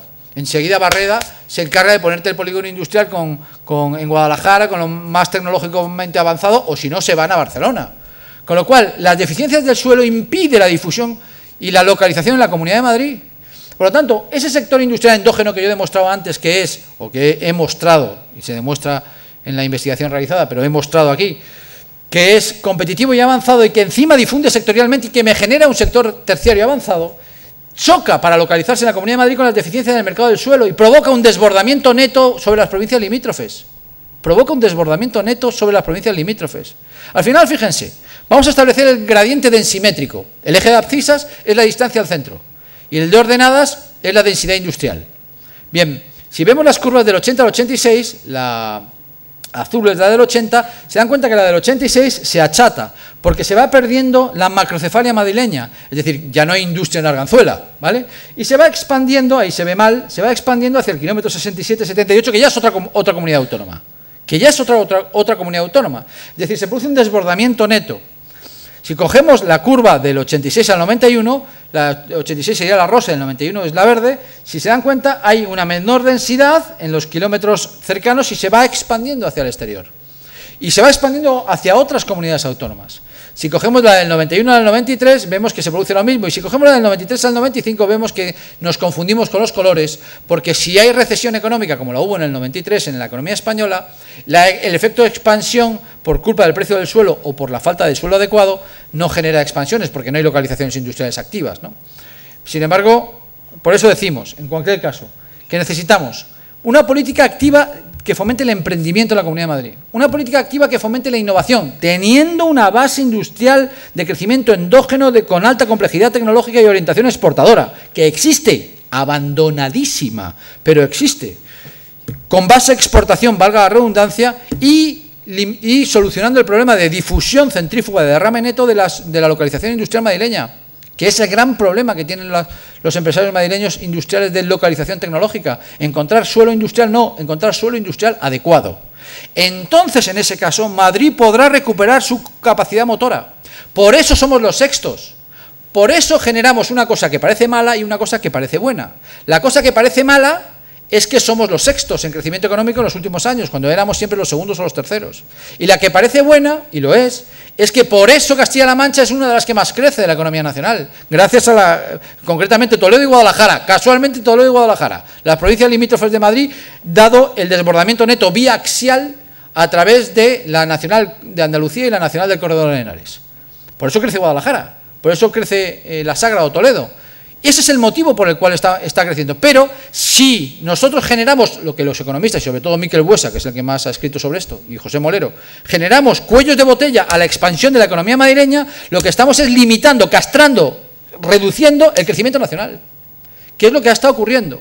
A partir de esto que contaba en parte Miquel Buesa, José Molero, yo mismo en varios artículos y en varias eh, obras como esta, eh, esto es un resumen, a partir de esto, nosotros tenemos una responsabilidad como gobierno, independientemente de la política. que es fomentar el emprendimiento, fomentar la innovación, fomentar la exportación, que es lo mismo, y fomentar la y no fomentar la difusión, tener en cuenta la difusión, el derrame neto a lo, largo o en relación a la localización industrial de eh, los eh, nuevos paradigmas tecnológicos que son el motor de crecimiento económico en nuestra región. Y dirás, ¿y todo esto Madrid? Sí, todo esto Madrid mucho más que Gijón, todo esto Madrid mucho más que Salamanca, o que el pueblo de mi madre, que es Arroyo Muerto. Eh, Madrid mucho más que Ciudad Real, por supuesto, porque somos 6 millones y medio, porque tenemos capacidad y factores de producción suficiente, un elevado capital humano, una industria orientada hacia la exportación en parte y una industria intensiva tecnológicamente. Todo esto, les puedo garantizar, y no es por eh, traerle el, asco a mi sardina, eh, todo esto contaba empresarios industriales de la Comunidad de Madrid, industriales, como Clemente, que acabo de comer con él. Eh, empresarios industriales que me dicen, esto que cuentas tú, te he estado viendo el PowerPoint, macho, es lo que a mí me pasa, macho. No puedo poner una industria en Arganda porque es que no tengo suelo adecuado. Y mira que hay suelo allí para aburrir. Y el IMADE, y aquí hay algunas personas del Instituto Madrileño de Desarrollo, no ha invertido suficientemente para que me dé suelo adecuado. Y he tenido yo que urbanizar. Y he tenido que comprar cinco o seis sitios eh, solares para poder urbanizar y a ver si revendo el segundo y el tercero y así amortizo las obras que he hecho. Siempre y cuando alguien me los compre en plena época de recesión, más el dato de liquidez. Todo esto está, como bien saben ustedes, y no ha querido ser coyuntura económica, todo esto está presidido por la falta y la escasez de liquidez en la economía española y mundial. No hay liquidez, y esto lo saben ustedes y lo saben especialmente los bancos. En estos momentos, no recuerdo la cifra, los bancos reciben todos los días unos 150 millones de euros. Hablo de memoria, ¿eh? tampoco hay que escribir el dato y, prestan aproximadamente 90 millones de euros, es decir, reciben más que prestan. Quiere decir que en estos momentos hay una gran parte de crédito solvente no dispuesto por parte de las instituciones financieras. Sin liquidez no hay emprendimiento, no hay, emprendimiento, no hay innovación, no hay exportación, no hay difusión. Por eso hay una provocación en un economista, les voy a hablar de un economista joven, que es especialista en economía monetaria, eh, no, no tanto en esto, pero sí en economía monetaria, en economía monetaria saben más que yo. Eh, no es conocido por eso, se llama Tomás Gómez. Y, él decía, y ha provocado, eh, al decirlo del banco público, ha provocado todo el mundo sentido de los pelos. Bueno, banco público como en Alemania, como en el Reino Unido, como en Japón, como Japón menos, Japón es directamente la administración. Eh, pero no se trata de crear un gran banco público, no se trata de recuperar la idea de Cambo, o sí, la idea de Cambo de crear el Banco de Crédito Industrial, que es una idea que tuvo en 1920 1923 no se trata de eso, se trata de financiar, llámenlo X, a cómo financiamos a Akio Morita. ¿Cómo le damos pasta? De, luego me importa mucho más Akio Morita, que es el ejemplo más, quizá más brillante, ¿no? Pero también puede ser un pequeño constructor, también puede ser que ahora son políticamente incorrectos, según la literatura última. Eh, también puede ser un exportador de galletas, pero a Morita, al que junta emprendimiento, innovación y exportación, ¿cómo le financio? le tendré que financiar. Porque si no le financio, yo estoy evitando que grandes externalidades que me generan fuertes valores añadidos a largo plazo no se me generen en la economía española. Se me generan fuertes valores añadidos a corto plazo, que me pueden excitar un crecimiento económico del 5% durante desde el año 94 la última fase de crecimiento económico español del 94 al 2008. Es verdad que Rodrigo Rato la cita desde el 96 al 2008, se olvida desde el 94 porque no le llega la serie larga, pero es desde el 94 hasta el 2008 más o menos, ¿no? la serie larga del crecimiento de la economía española último. ¿no? Bien, nos puede excitar crecer un 5%, sustentado en una fortísima demanda interna, mucha eh, inversión en construcción y mucho consumo interno alimentado con deuda externa a lo bestia, teniendo un 160% de nuestro crecimiento sustentado en deuda privada exterior, y ahí así están los bancos como están, como Portugal, aunque en nuestro caso evidentemente es distinto y no hay ningún problema. Pero dicho esto, no hay tanto problema. Pero dicho esto, debemos aprovechar la crisis y cambiar esto. ¿Y esto a quién se lo estoy diciendo? No se lo estoy diciendo a Esperanza Aguirre, que también. Se lo estoy diciendo también a el gobierno de la nación, a Elena, que también. Y se lo estoy diciendo también, y lo hemos discutido y hablado, y hemos llegado a estas conclusiones dos economistas. Somos Tomás y yo. ¿Y esto se puede contar en un mitin? Pues la verdad es que no va a ponerte a contar las curvas. Oiga, los meetings, la macrocefalia madrileña y las curvas densimétricas. No, si dices eso no te vota nadie. pero esto es lo que hay que hacer, y lo tiene que hacer el próximo consejero de Economía, que sea Antonio Beteta otra vez, o el siguiente, o si hay relevo, pues el su tocayo. Entonces, eh, eh, lo tendrían que hacer, lo tendrían que hacer. Emprendimiento, innovación, exportación y difusión. Ah, por cierto, este es el Akio Morita. Por cierto, Akio Morita, que tenía una, la compañía esta que se llama Morita Co., eh, llegó a vender transistores a los Estados Unidos de América.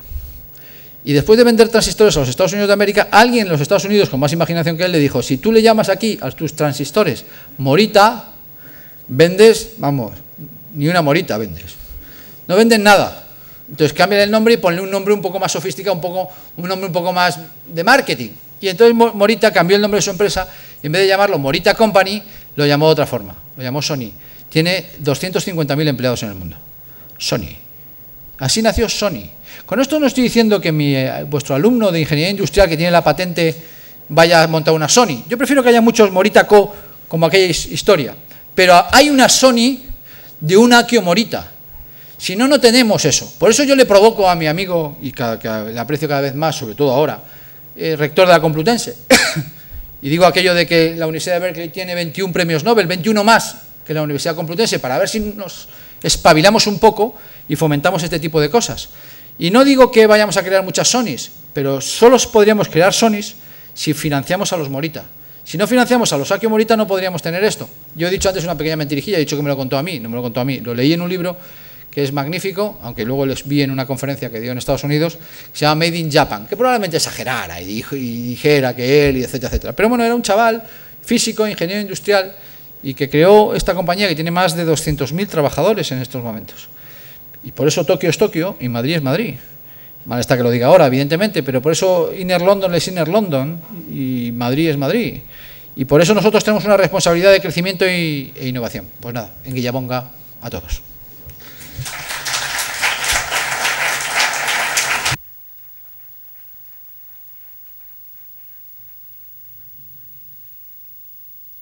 Muchísimas gracias, Antonio. Decirte que eh, los ingenieros industriales que estamos aquí eh, estamos muy de acuerdo con todo lo que tú dices, no solo porque lo digas tú, que desde luego eres una autoridad, sino también porque seguimos eh, todos los puntos que has dicho. tenemos unos talleres de emprendedores, tenemos un departamento de innovación que tratamos de expandir lo más posible como innovación las equiparado a exportación, también lo estamos siguiendo y la difusión es un tema trascendental el suelo industrial y su expansión para, para que se pueda fomentar la industria en nosotros. También quería, también quería decirte que mm, nuestra carrera se creó en 1850, eh, fue creada tratando de eh, asentar la revolución industrial aquí en España, eh, que el primer ingeniero industrial que creó la escuela, que fue director, fue Montesinos y que fue director general de ferrocarriles y, presidente de la primera compañía de ferrocarriles españoles. Que la historia de la ingeniería industrial siempre ha ido con el progreso del país y que eh, en, ese, en esa línea estamos totalmente de acuerdo. Y por último, solamente de decirte que yo levanto el dedo porque soy de Zamora. Bueno, vamos a ver, seguro que hay muchísimas preguntas y eh, esperemos a ver, a ver quién quiere romper el fuego. Aquí, por favor.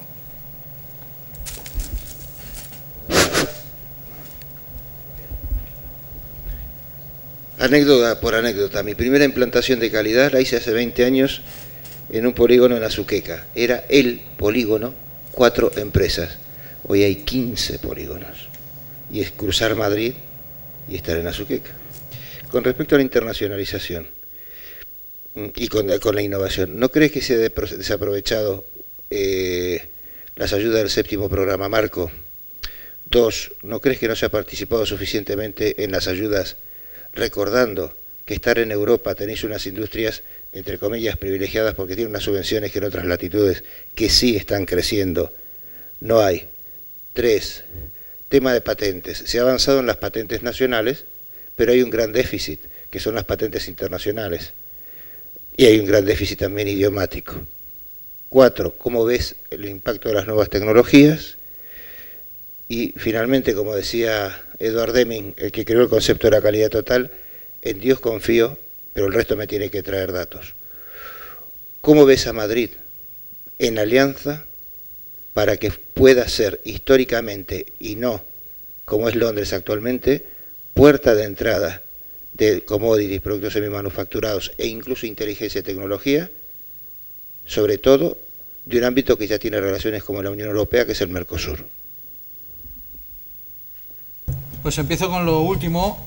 Eh, mm, vamos a ver, yo, probablemente yo haya viajado, no sé si he viajado más que la media o menos que la media, pero de los viajes a los países más desarrollados, yo Madrid lo veo muy avanzado comparado con Salamanca, eh, aunque Salamanca, eh, pero lo veo muy atrasado con respecto a, eh, los paradigmas tecnológicos que, plantea Alejandro Capuano, que como todo el mundo habrá podido escuchar es argentino, y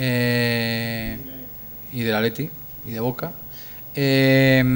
Madrid mm, no aprovecha su potencialidad para adaptar los nuevos paradigmas tecnológicos. Eh, en los registros de patentes que ha citado, nuestra posición es bastante atrasada. Es verdad que, la mayor parte que decimos unas cosas, me puedo decir un taco, que, que son de coña. Es decir, el 50% de las patentes de España residen en Madrid. obviamente, ¿no? pero eso es insuficiente.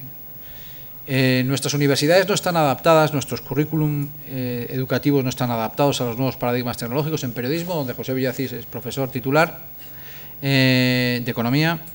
En periodismo nuestros alumnos apenas estudian los nuevos paradigmas, no saben hacer una página web, etcétera, etcétera. Con lo cual, la situación de Madrid en relación a patentes, tecnología, etcétera, etcétera, es de falta de adaptación de los nuevos paradigmas tecnológicos, de una enorme falta de adaptación. Nuestras universidades públicas tienen que hacer grandes esfuerzos. Es verdad que, por ejemplo, lleva razón Berzosa, en el, último, el penúltimo año, eh, las inversiones en la Universidad Complutense se redujeron por parte del Consejo de Gobierno de la Comunidad de Madrid un 72%. No es que se redujera un no he dicho un 7,2%, sino un 72% menos. No es un 7, un 72% menos. Inversiones, ¿eh? Inversiones. En gasto, un tanto lo mismo, pero gasto no se puede disminuir tanto porque hay que pagar a los profesores. ¿eh? Entonces, ya, investigar ni, te cuento, ¿no? Es decir, investigar. Entonces ahí al final hay mucha literatura sobre las innovaciones, investigación y más de, pero es literatura muchas veces académica, entre ellos la mía. Yo escribí mi primer libro se llama Economía e Innovación, la primera tesis doctoral.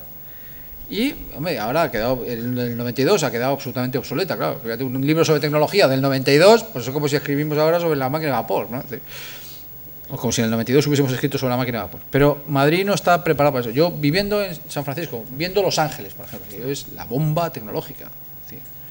Los Ángeles, o el propio Massachusetts, o propio Berlín, o París, o Londres, aunque a veces eh, son demasiado eh, paradigmáticos. ¿eh? O sea, a veces nos pasamos en el papanatismo en España, ¿no? Y al final nuestros grandes investigadores acaban yéndose fuera. ¿no?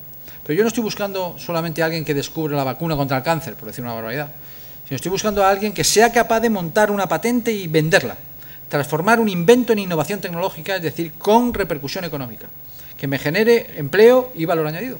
Eso es lo que necesito.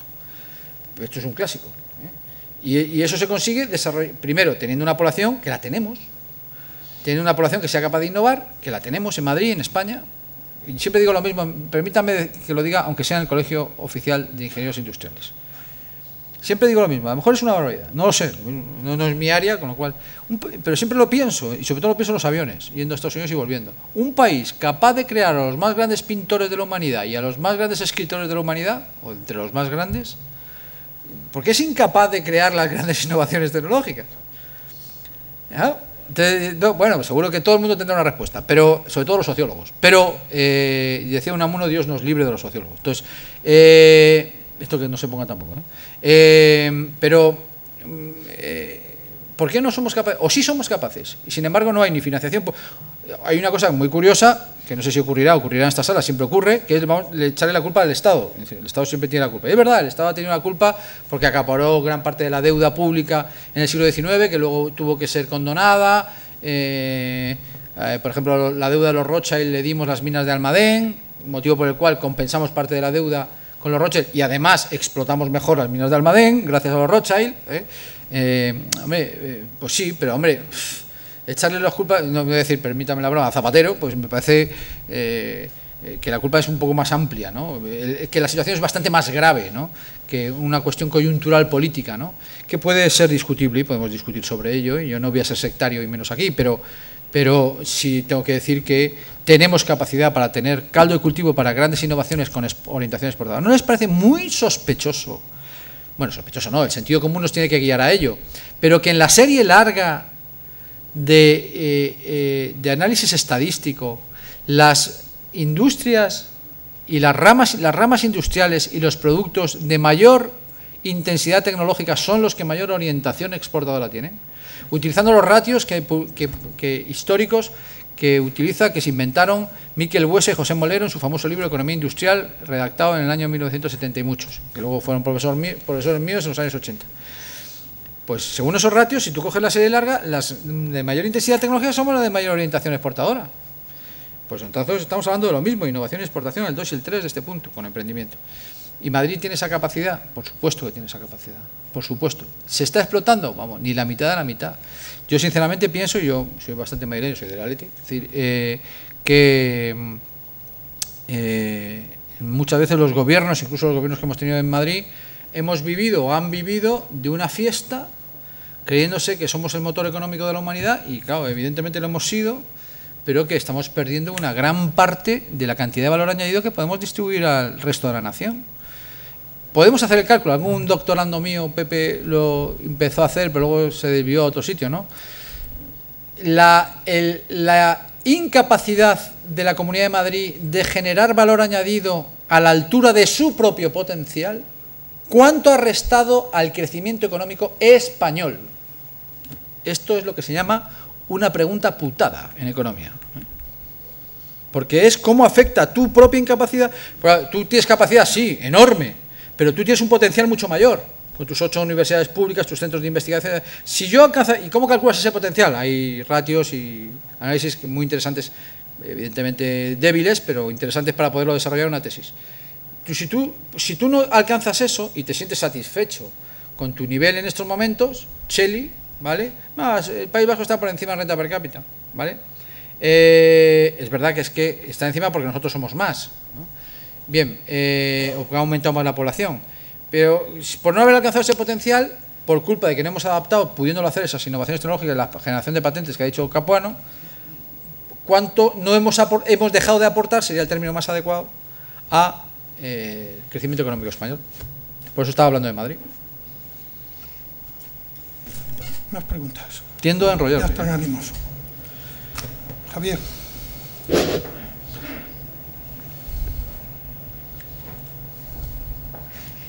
Sí, bueno, eh, muchas gracias por la conferencia, que ha sido muy interesante. Eh, desde luego no cabe duda que la innovación pues es eh, el, motor fundamental del desarrollo económico actual, ¿no? Y, en donde no hay innovación, pues, pues poco se puede sacar. Bueno, pero usted ha centrado mucho la ayuda a la innovación en el tema eh, de capital, es decir, la ayuda que podríamos llamar financiera. Yo en estos momentos, eh, yo soy ingeniero industrial, yo en estos momentos estoy jubilado, eh, pero he trabajado, pues en, he tenido la suerte de trabajar en, siempre en empresas que tenían pues una tensión innovadora importante.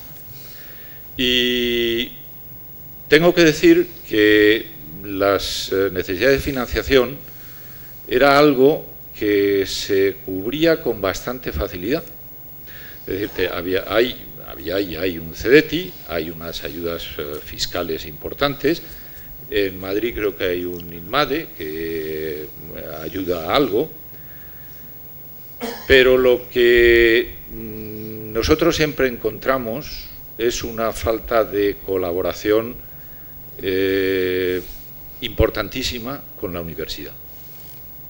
Es decir, eh, y no porque la universidad no quisiera colaborar, sino porque nos encontrábamos eh, que, mm, bueno, desarrollar un proyecto con cualquier eh, facultad, fuese, fuese de tipo de medicina o una facultad de física o una escuela técnica, pues era chocar con los sistemas administrativos que bueno, pues eh, yo recuerdo que para comprar en un, eh, para un proyecto concreto que se estaba haciendo en el Hospital Clínico de Barcelona, para comprar una impresora, estoy hablando del año 90, ¿eh?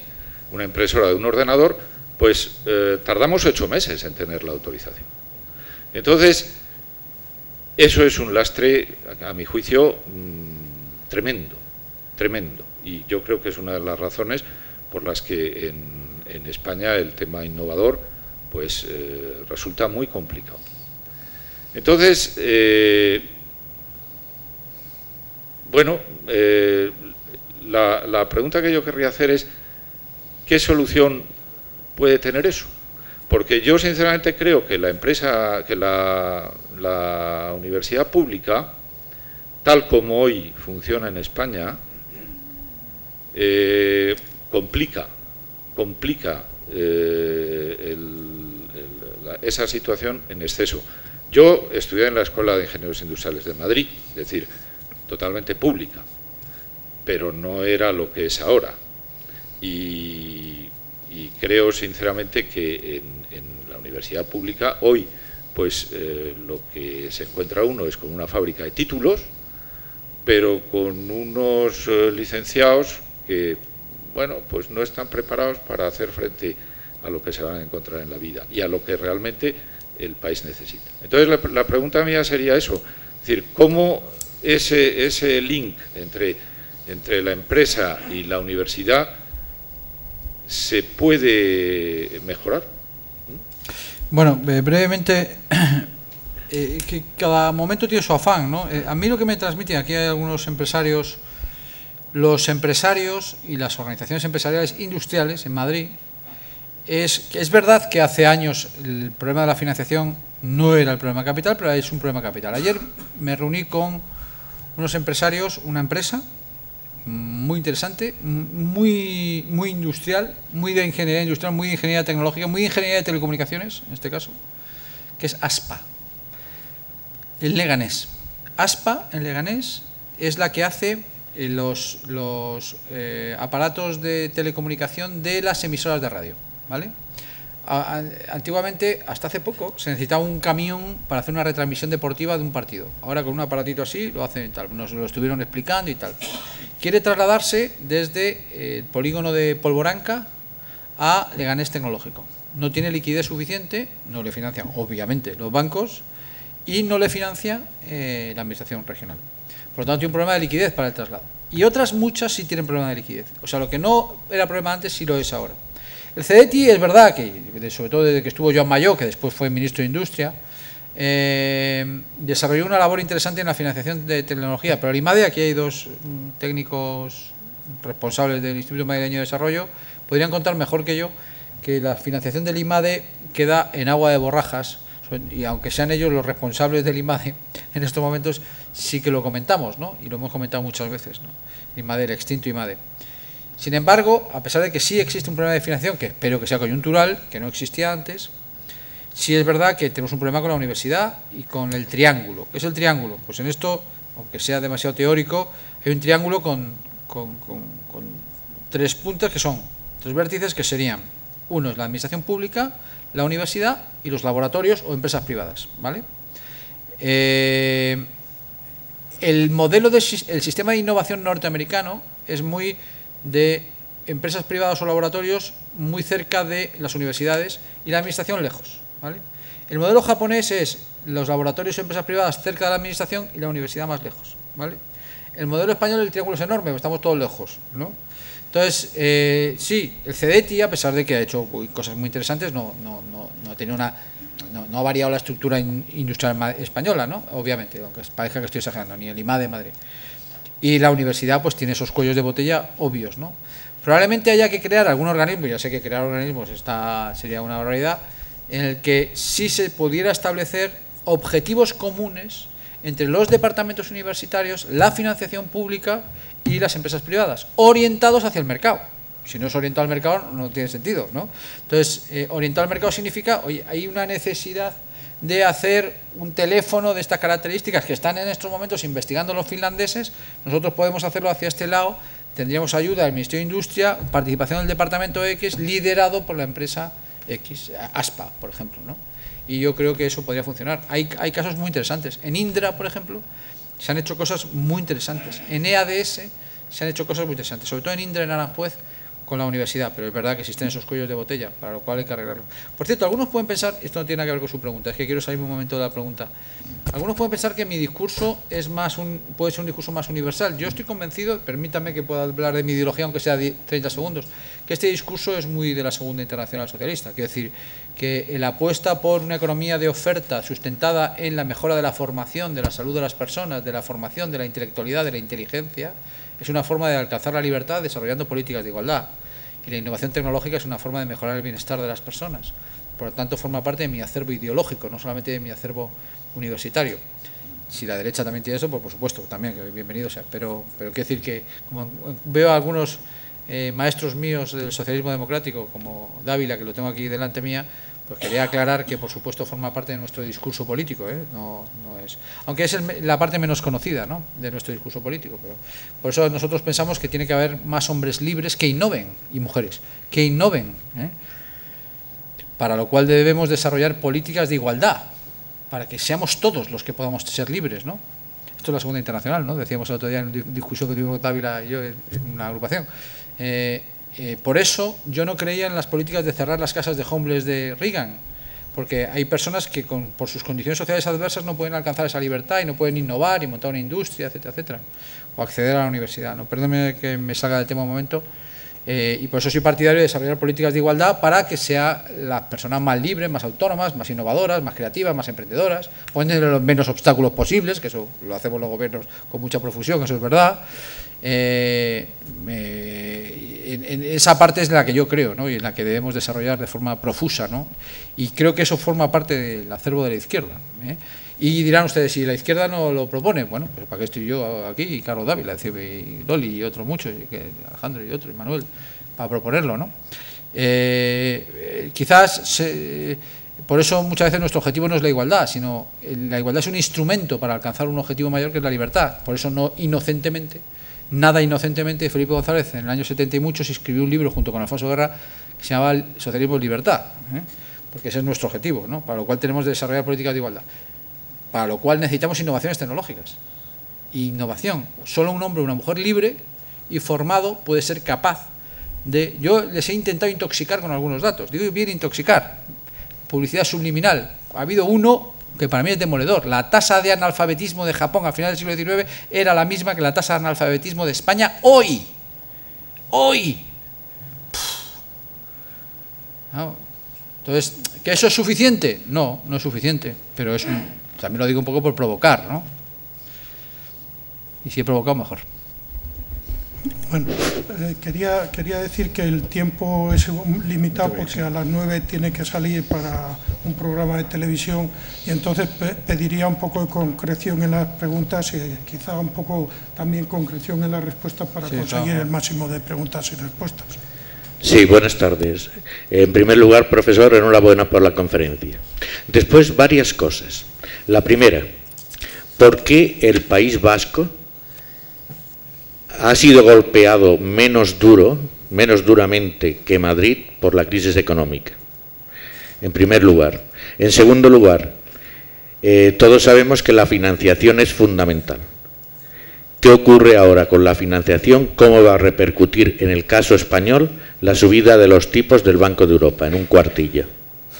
Y la tercera, cayendo un poco en eso que decía al final, eh, no creo yo que el camino hacia esa igualdad, pasando por mejor formación, etcétera, etcétera, etcétera, sea el bachillerato de excelencia, ¿no? Gracias. Bien.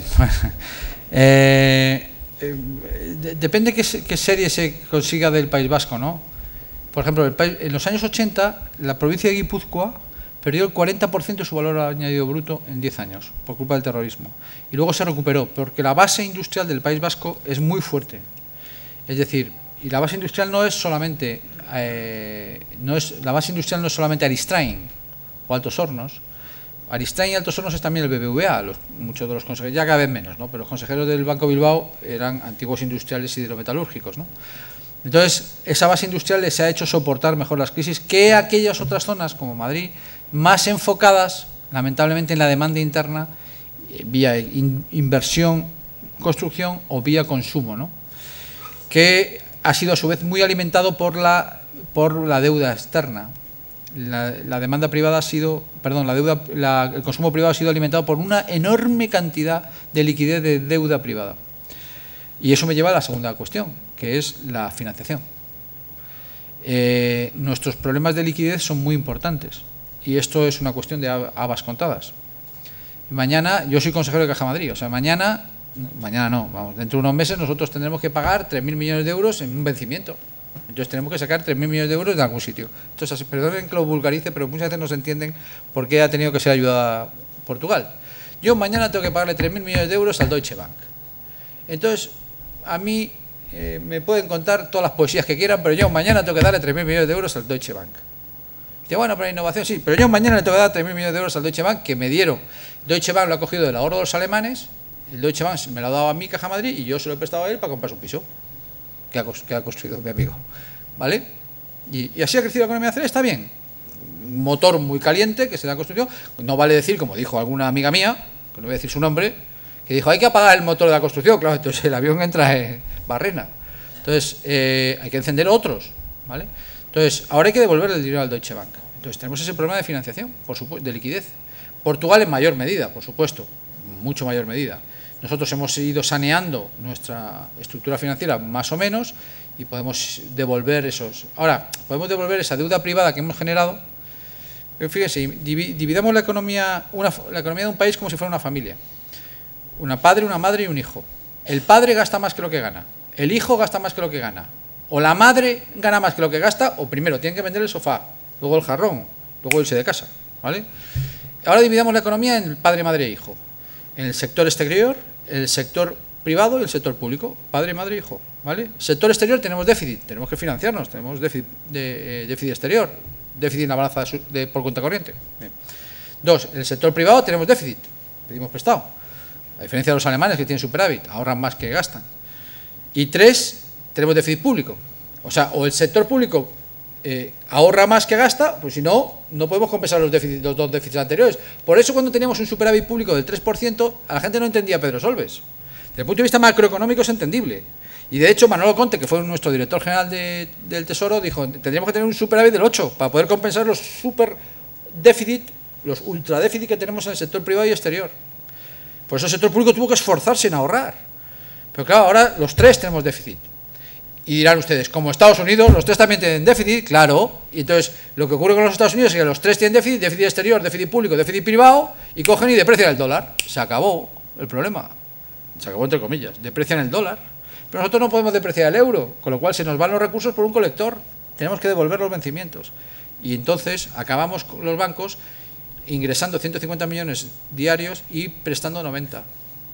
Es decir, estamos el crecimiento que se está iniciando es lo que algunos economistas llaman, perdón por el término en inglés, el credit less recovery, la recuperación sin crédito. O sea, a pelo, es lo que estamos haciendo, a pelo. ¿eh? Y yo le dije a Miguel Martín, gran amigo y ex maestro, presidente de la Asociación Española de Banca, le dije, oye, macho, y dice, a ver, tú que has sido alumno, tú tienes un... imagínate que eres el responsable de la sucursal de Villaverde de la Caixa y tienes dos carniceros, uno bueno y uno malo, no sabes cuál es el malo, ¿a quién le prestas? Y digo, ah, bueno, y dice, ¿cómo sabes cuál es el bueno? Pues sabes cuál lo si tienes uno bueno y uno malo y tu riesgo es del 50%, 50-50, ¿sabes lo que acabamos haciendo? No prestando a ninguno de los dos. Y no transmito el problema de la economía real al sistema financiero. Y yo le dije, problema de economía real que habéis generado en el sistema financiero. Y decir, lo que debemos llamar es una, la- el sistema financiero tiene que tener una responsabilidad social. Con lo cual, ahí los empresarios privados exigían en pleno momento de recesión una fortísima intervención pública, incluso nacionalizaciones bancarias. Eso lo pedían los no lo pedía Trotsky, ¿eh? lo pedía el sector, los, los empresarios. ¿eh? De hecho, el gobierno norteamericano intervino en Bank of America, intervino en el, Royal- el gobierno británico nacionalizó el Royal Bank of Scotland, el gobierno suizo nacional- eh, intervino en UBS, el gobierno holandés en ING, el gobierno belga en Fortis, nosotros en Caja Castilla-La Mancha. Bueno, entonces, pero tenemos ese problema de financiación. Y desde luego en formación, yo, eh, esto que ha dicho Esperanza Aguirre de... Bueno, son las típicas cosas que se suelen decir cuando uno va a dejar el gobierno. ¿no? Perdón por la Publicidad subliminal.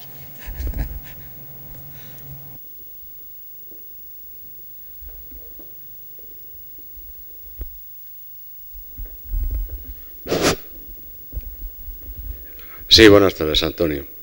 Darte la enhorabuena. Te he escuchado con mucha atención tu conferencia, ¿eh? pero como yo no soy economista y actualmente soy, estoy representando a un gremio de los colegios profesionales que es los ingenieros técnicos industriales, el COGITI, entonces, mi pregunta va dirigida en este sentido. Si lo que en realidad tenemos en nuestra nación es el empleo de alta cualificación, la ingeniería que se ve evocada a salir fuera de España, que volvemos a los años 59-60 de la inmigración, que nos ha hecho, se nos ha hecho un gran daño con la ley 1000-2010 y ahora también nos viene la tormenta de la ley de servicios profesionales. Mi pregunta, Antonio, es la siguiente. ¿Por qué y a qué motivo se debe el tener que internacionalizar el tener que salir fuera, el quitarnos de nuestra propia nación ¿eh? a estas personas que se ven aquí, que acaban sus estudios, como tú bien has dicho, sin la posibilidad de salir adelante como emprendedores y no tienen los medios que debían de tener de apoyo en este sentido. Esa es una pregunta. Y la segunda y última, y la segunda y última, Antonio, es la siguiente. Por supuesto, nos conocemos hace muchos años, no te voy a decir ahora que la pequeña y mediana empresa es la que sustenta y la que enriquece a un país.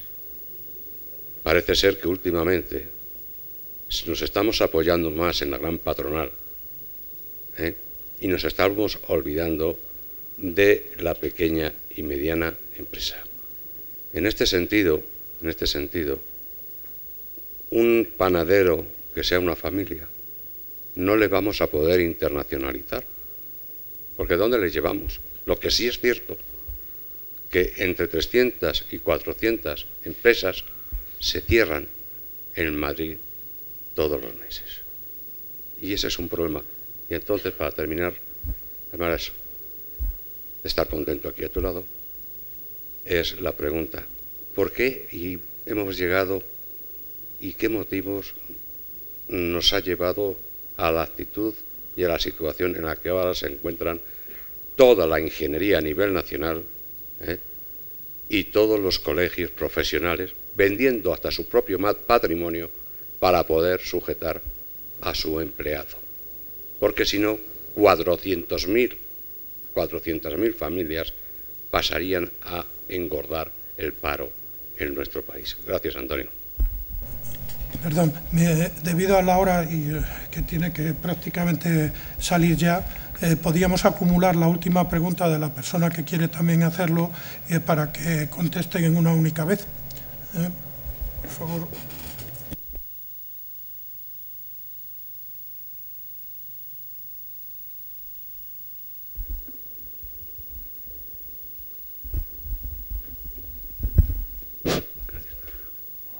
Hola, buenas tardes.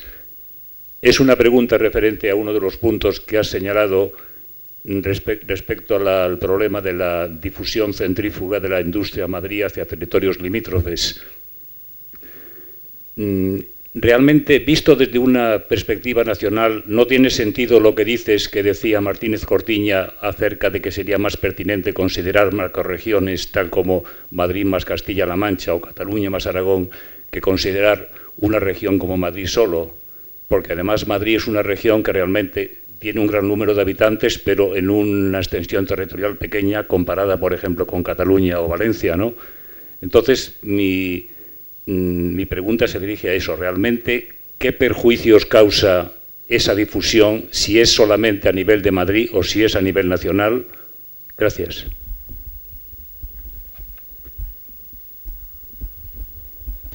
Bueno, em,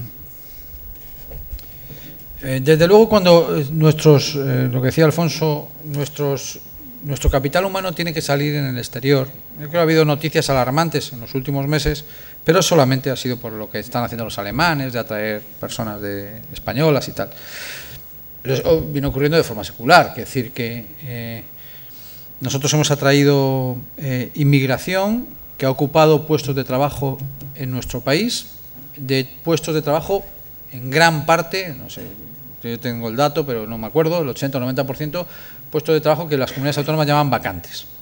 Con lo cual, la entrada de inmigrantes en España han generado un crecimiento del valor añadido. ¿Cuánto? Pues hay un estudio muy interesante financiado por el Banco Popular y creado por la Fundación FEDEA, que dice que el 28% del crecimiento, 28, sí, casi el 30, el 30% del crecimiento del valor añadido bruto español de los últimos 10 años, no, de los últimos 10 años, del 2000 al 2006, es el estudio, se debe a la inmigración.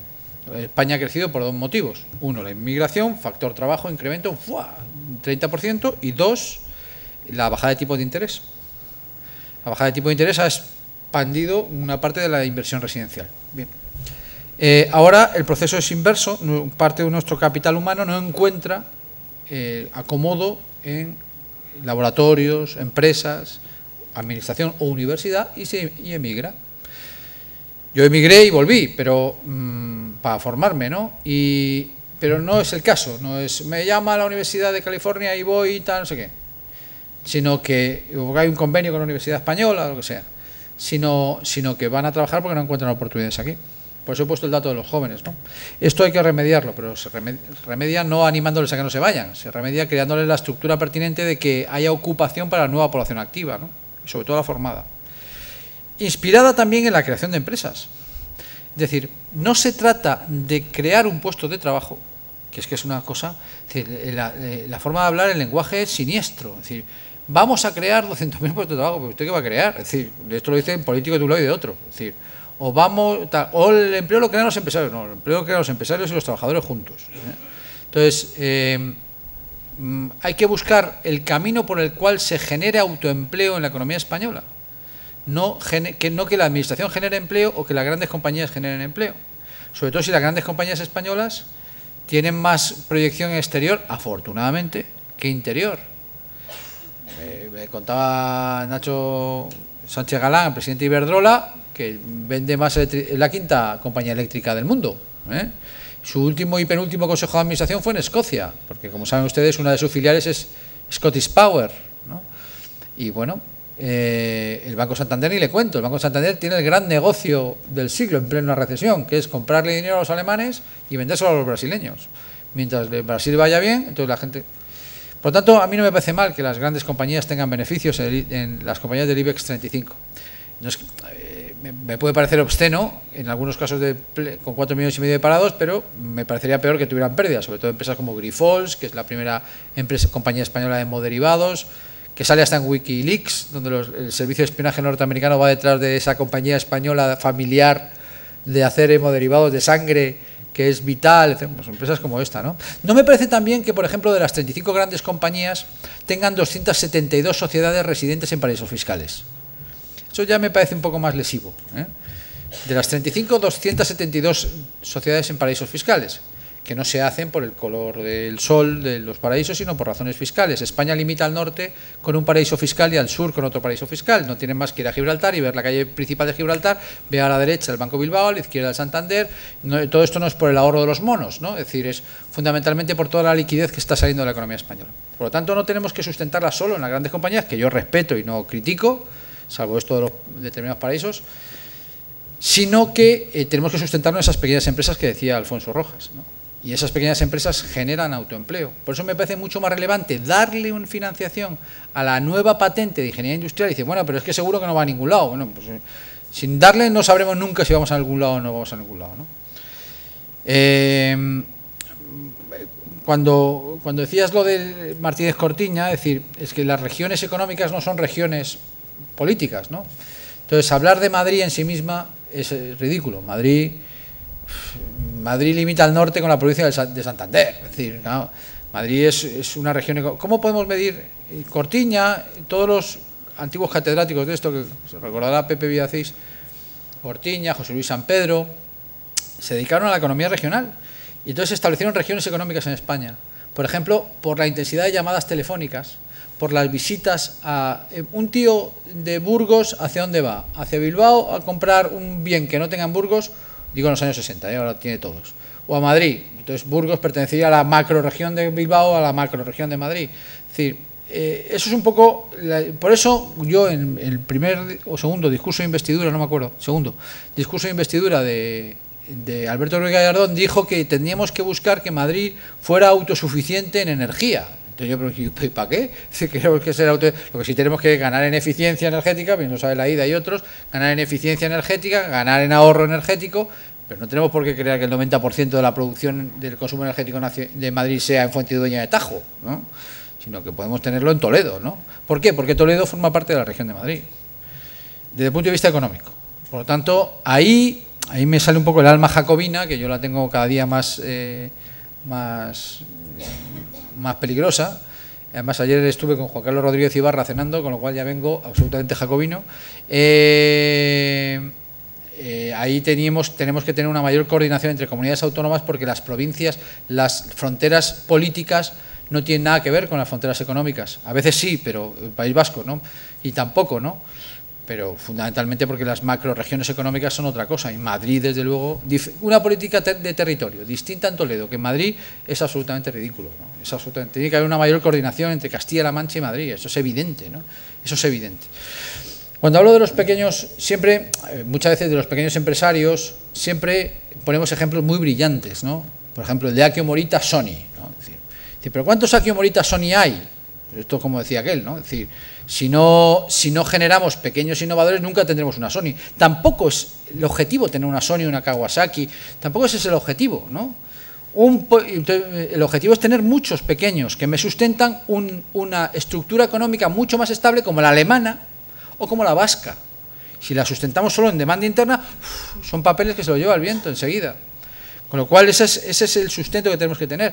Y podemos poner ejemplos así como lúcidos que nos diviertan mucho, sí, pero tampoco es el objetivo un samurái de finales del siglo XIX, 1870 o 1880, se le ocurrió montar una empresa semisiderúrgica y montó una empresa pues, pues un poco con el escudo de samurái que tiene. Dejó de ser samurái porque ya no pegaba a ser samurái, ¿eh?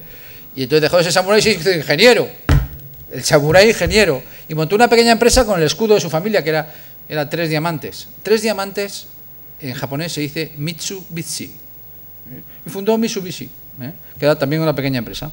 Entonces, como ejemplos como este, yo siempre pongo el mismo y lo cuento mal, ¿eh? lo cuento fatal porque siempre me llamó uno de Bayer y me dijo, me dijo, esto de farmacia que cuenta no es exactamente así, que eran esos tres, tres chavales que acabaron la carrera de farmacia y de biológicas, otro, en Alemania, en la ciudad de Leverkusen, y se pusieron a investigar y hicieron lo que se llama una pues, tesis doctorales, investigaciones originales, se pusieron a mirar por qué las antiguas, sus abuelas arrancaban la corteza del sauce, la machacaban en miel y leche, y, cuando te dolía la cabeza o te dolía un pie, te la tomabas y se te quitaban los dolores. Y entonces investigaron y se dieron cuenta que allí dentro de esa corteza del sauce había una cosa que se llama ácido acetil salicílico. Y de ahí extrajeron, lo comprimieron, se lo repartieron a 50.000 médicos alemanes, por eso sabemos que en aquel entonces había 50.000 médicos en los estados alemanes, y eh, fundaron una pequeñísima microempresa, esos tres chavalines, y la llamaron Bayer, que ahora financia un equipo de fútbol que es el Bayer Leverkusen, no confundir con el Bayer de Múnich, que no tiene nada que ver. El Bayer Leverkusen, pues esa es la compañía Bayer, ¿no? Entonces, ejemplos como, tan brillantes como estos, ¿hay muchos? Sí, hay muchos, son ejemplos brillantes, pero más, más brillante que todo esto es otros chavales que hicieron lo mismo, que solamente generaron 10 puestos de trabajo, pero que como esos hay miles, miles que generan 5 o 10 puestos de trabajo y 4 o 5 que generan 250.000 puestos de trabajo, 4 o 5 Sonys o 20 Sonys o 35 Sonys como el IBEX, 30, IBEX 35 y luego muchos que generan todo esto. Significa un cambio además radical en la cultura innovadora de España, radical, radical, que probablemente tenga que ver con un cambio radical en la estructura formativa de nuestros alumnos, un cambio radical en la estructura de nuestros profesores, un cambio radical en las propuestas de, de nuestros gobiernos de todo color y un cambio radical en la cultura de nuestro país que no significa volvernos más materialistas, significa también a veces aprovechar nuestro valor añadido. Yo vuelvo a hacer la pregunta que cada vez que la hago me, siento un poco frívolo, porque, porque desde el punto de vista científico es un poco frívola la pregunta, ¿no? pero es frívola, pero no, no paro de hacérmela. ¿Por qué tenemos grandes escritores, grandes pintores, y sin embargo hemos sido relativamente, somos un país muy avanzado, pero relativamente incapaces de ser early starters? Somos las comers, ¿eh? Somos un país tecnológicamente avanzado, industrialmente avanzado, pero last comer. Hemos, sido, hemos tardado en llegar y hemos llegado. ¿eh? Con capital extranjero hemos llegado. Exportamos muchísimos coches de eh, capital extranjero. ¿eh?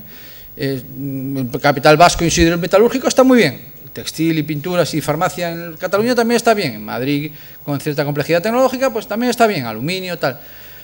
Pero somos las comer no somos early starters, no somos generadores de patentes que me generen monopolios y que dominen el comercio internacional. Quien patenta el chip, digo el chip, la topografía de un chip, eh, es el que domina el comercio internacional de la topografía del chip S, del chip AB264. ¿eh? Y eso es lo que nos falta, y probablemente lo que decía el señor de la universidad, estar más pegada la empresa, también más pegada a las inversiones a largo plazo, un gobierno que plantee esto y que lidere el país a los empresarios y a los trabajadores. Mientras tanto, si me permiten, muchas veces nos distraemos en disquisiciones muy españolas de discutir por qué. Yo, soy de los que piensan, y no es que yo no lo sea, pero que la política española es muy infantil, es decir, absolutamente infantil. Estamos, nos peleamos por cualquier cosa que luego se nos olvida y volvemos a pelearnos al cabo de seis meses, etcétera, etcétera. En cualquier caso, yo creo que esos deben, deberían ser nuestros objetivos, como dirían mis maestros en Estados Unidos, permitidme la expresión, como policy makers, como hacedores de la política económica, ¿no? como creadores de la política. ¿no? Y por eso eh, parece un poco el título poco poético, ¿no? Más allá de la línea del horizonte. Es que nos miramos solamente a nuestro propio ombligo. Y si nos miramos solamente a nuestro propio ombligo, lo único que seremos capaces es de vernos los dedos de los pies. Muchas gracias.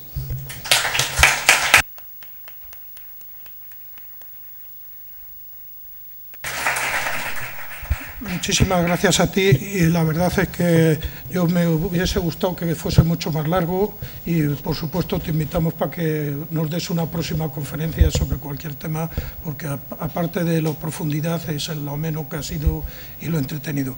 Me gustaría eh, que a continuación, a pesar de que él no pueda estar, siguiésemos este debate en la cafetería que está en la planta de arriba y tomemos un vino y y comentamos un poco de qué ha sido este tema y, lo que puede ser.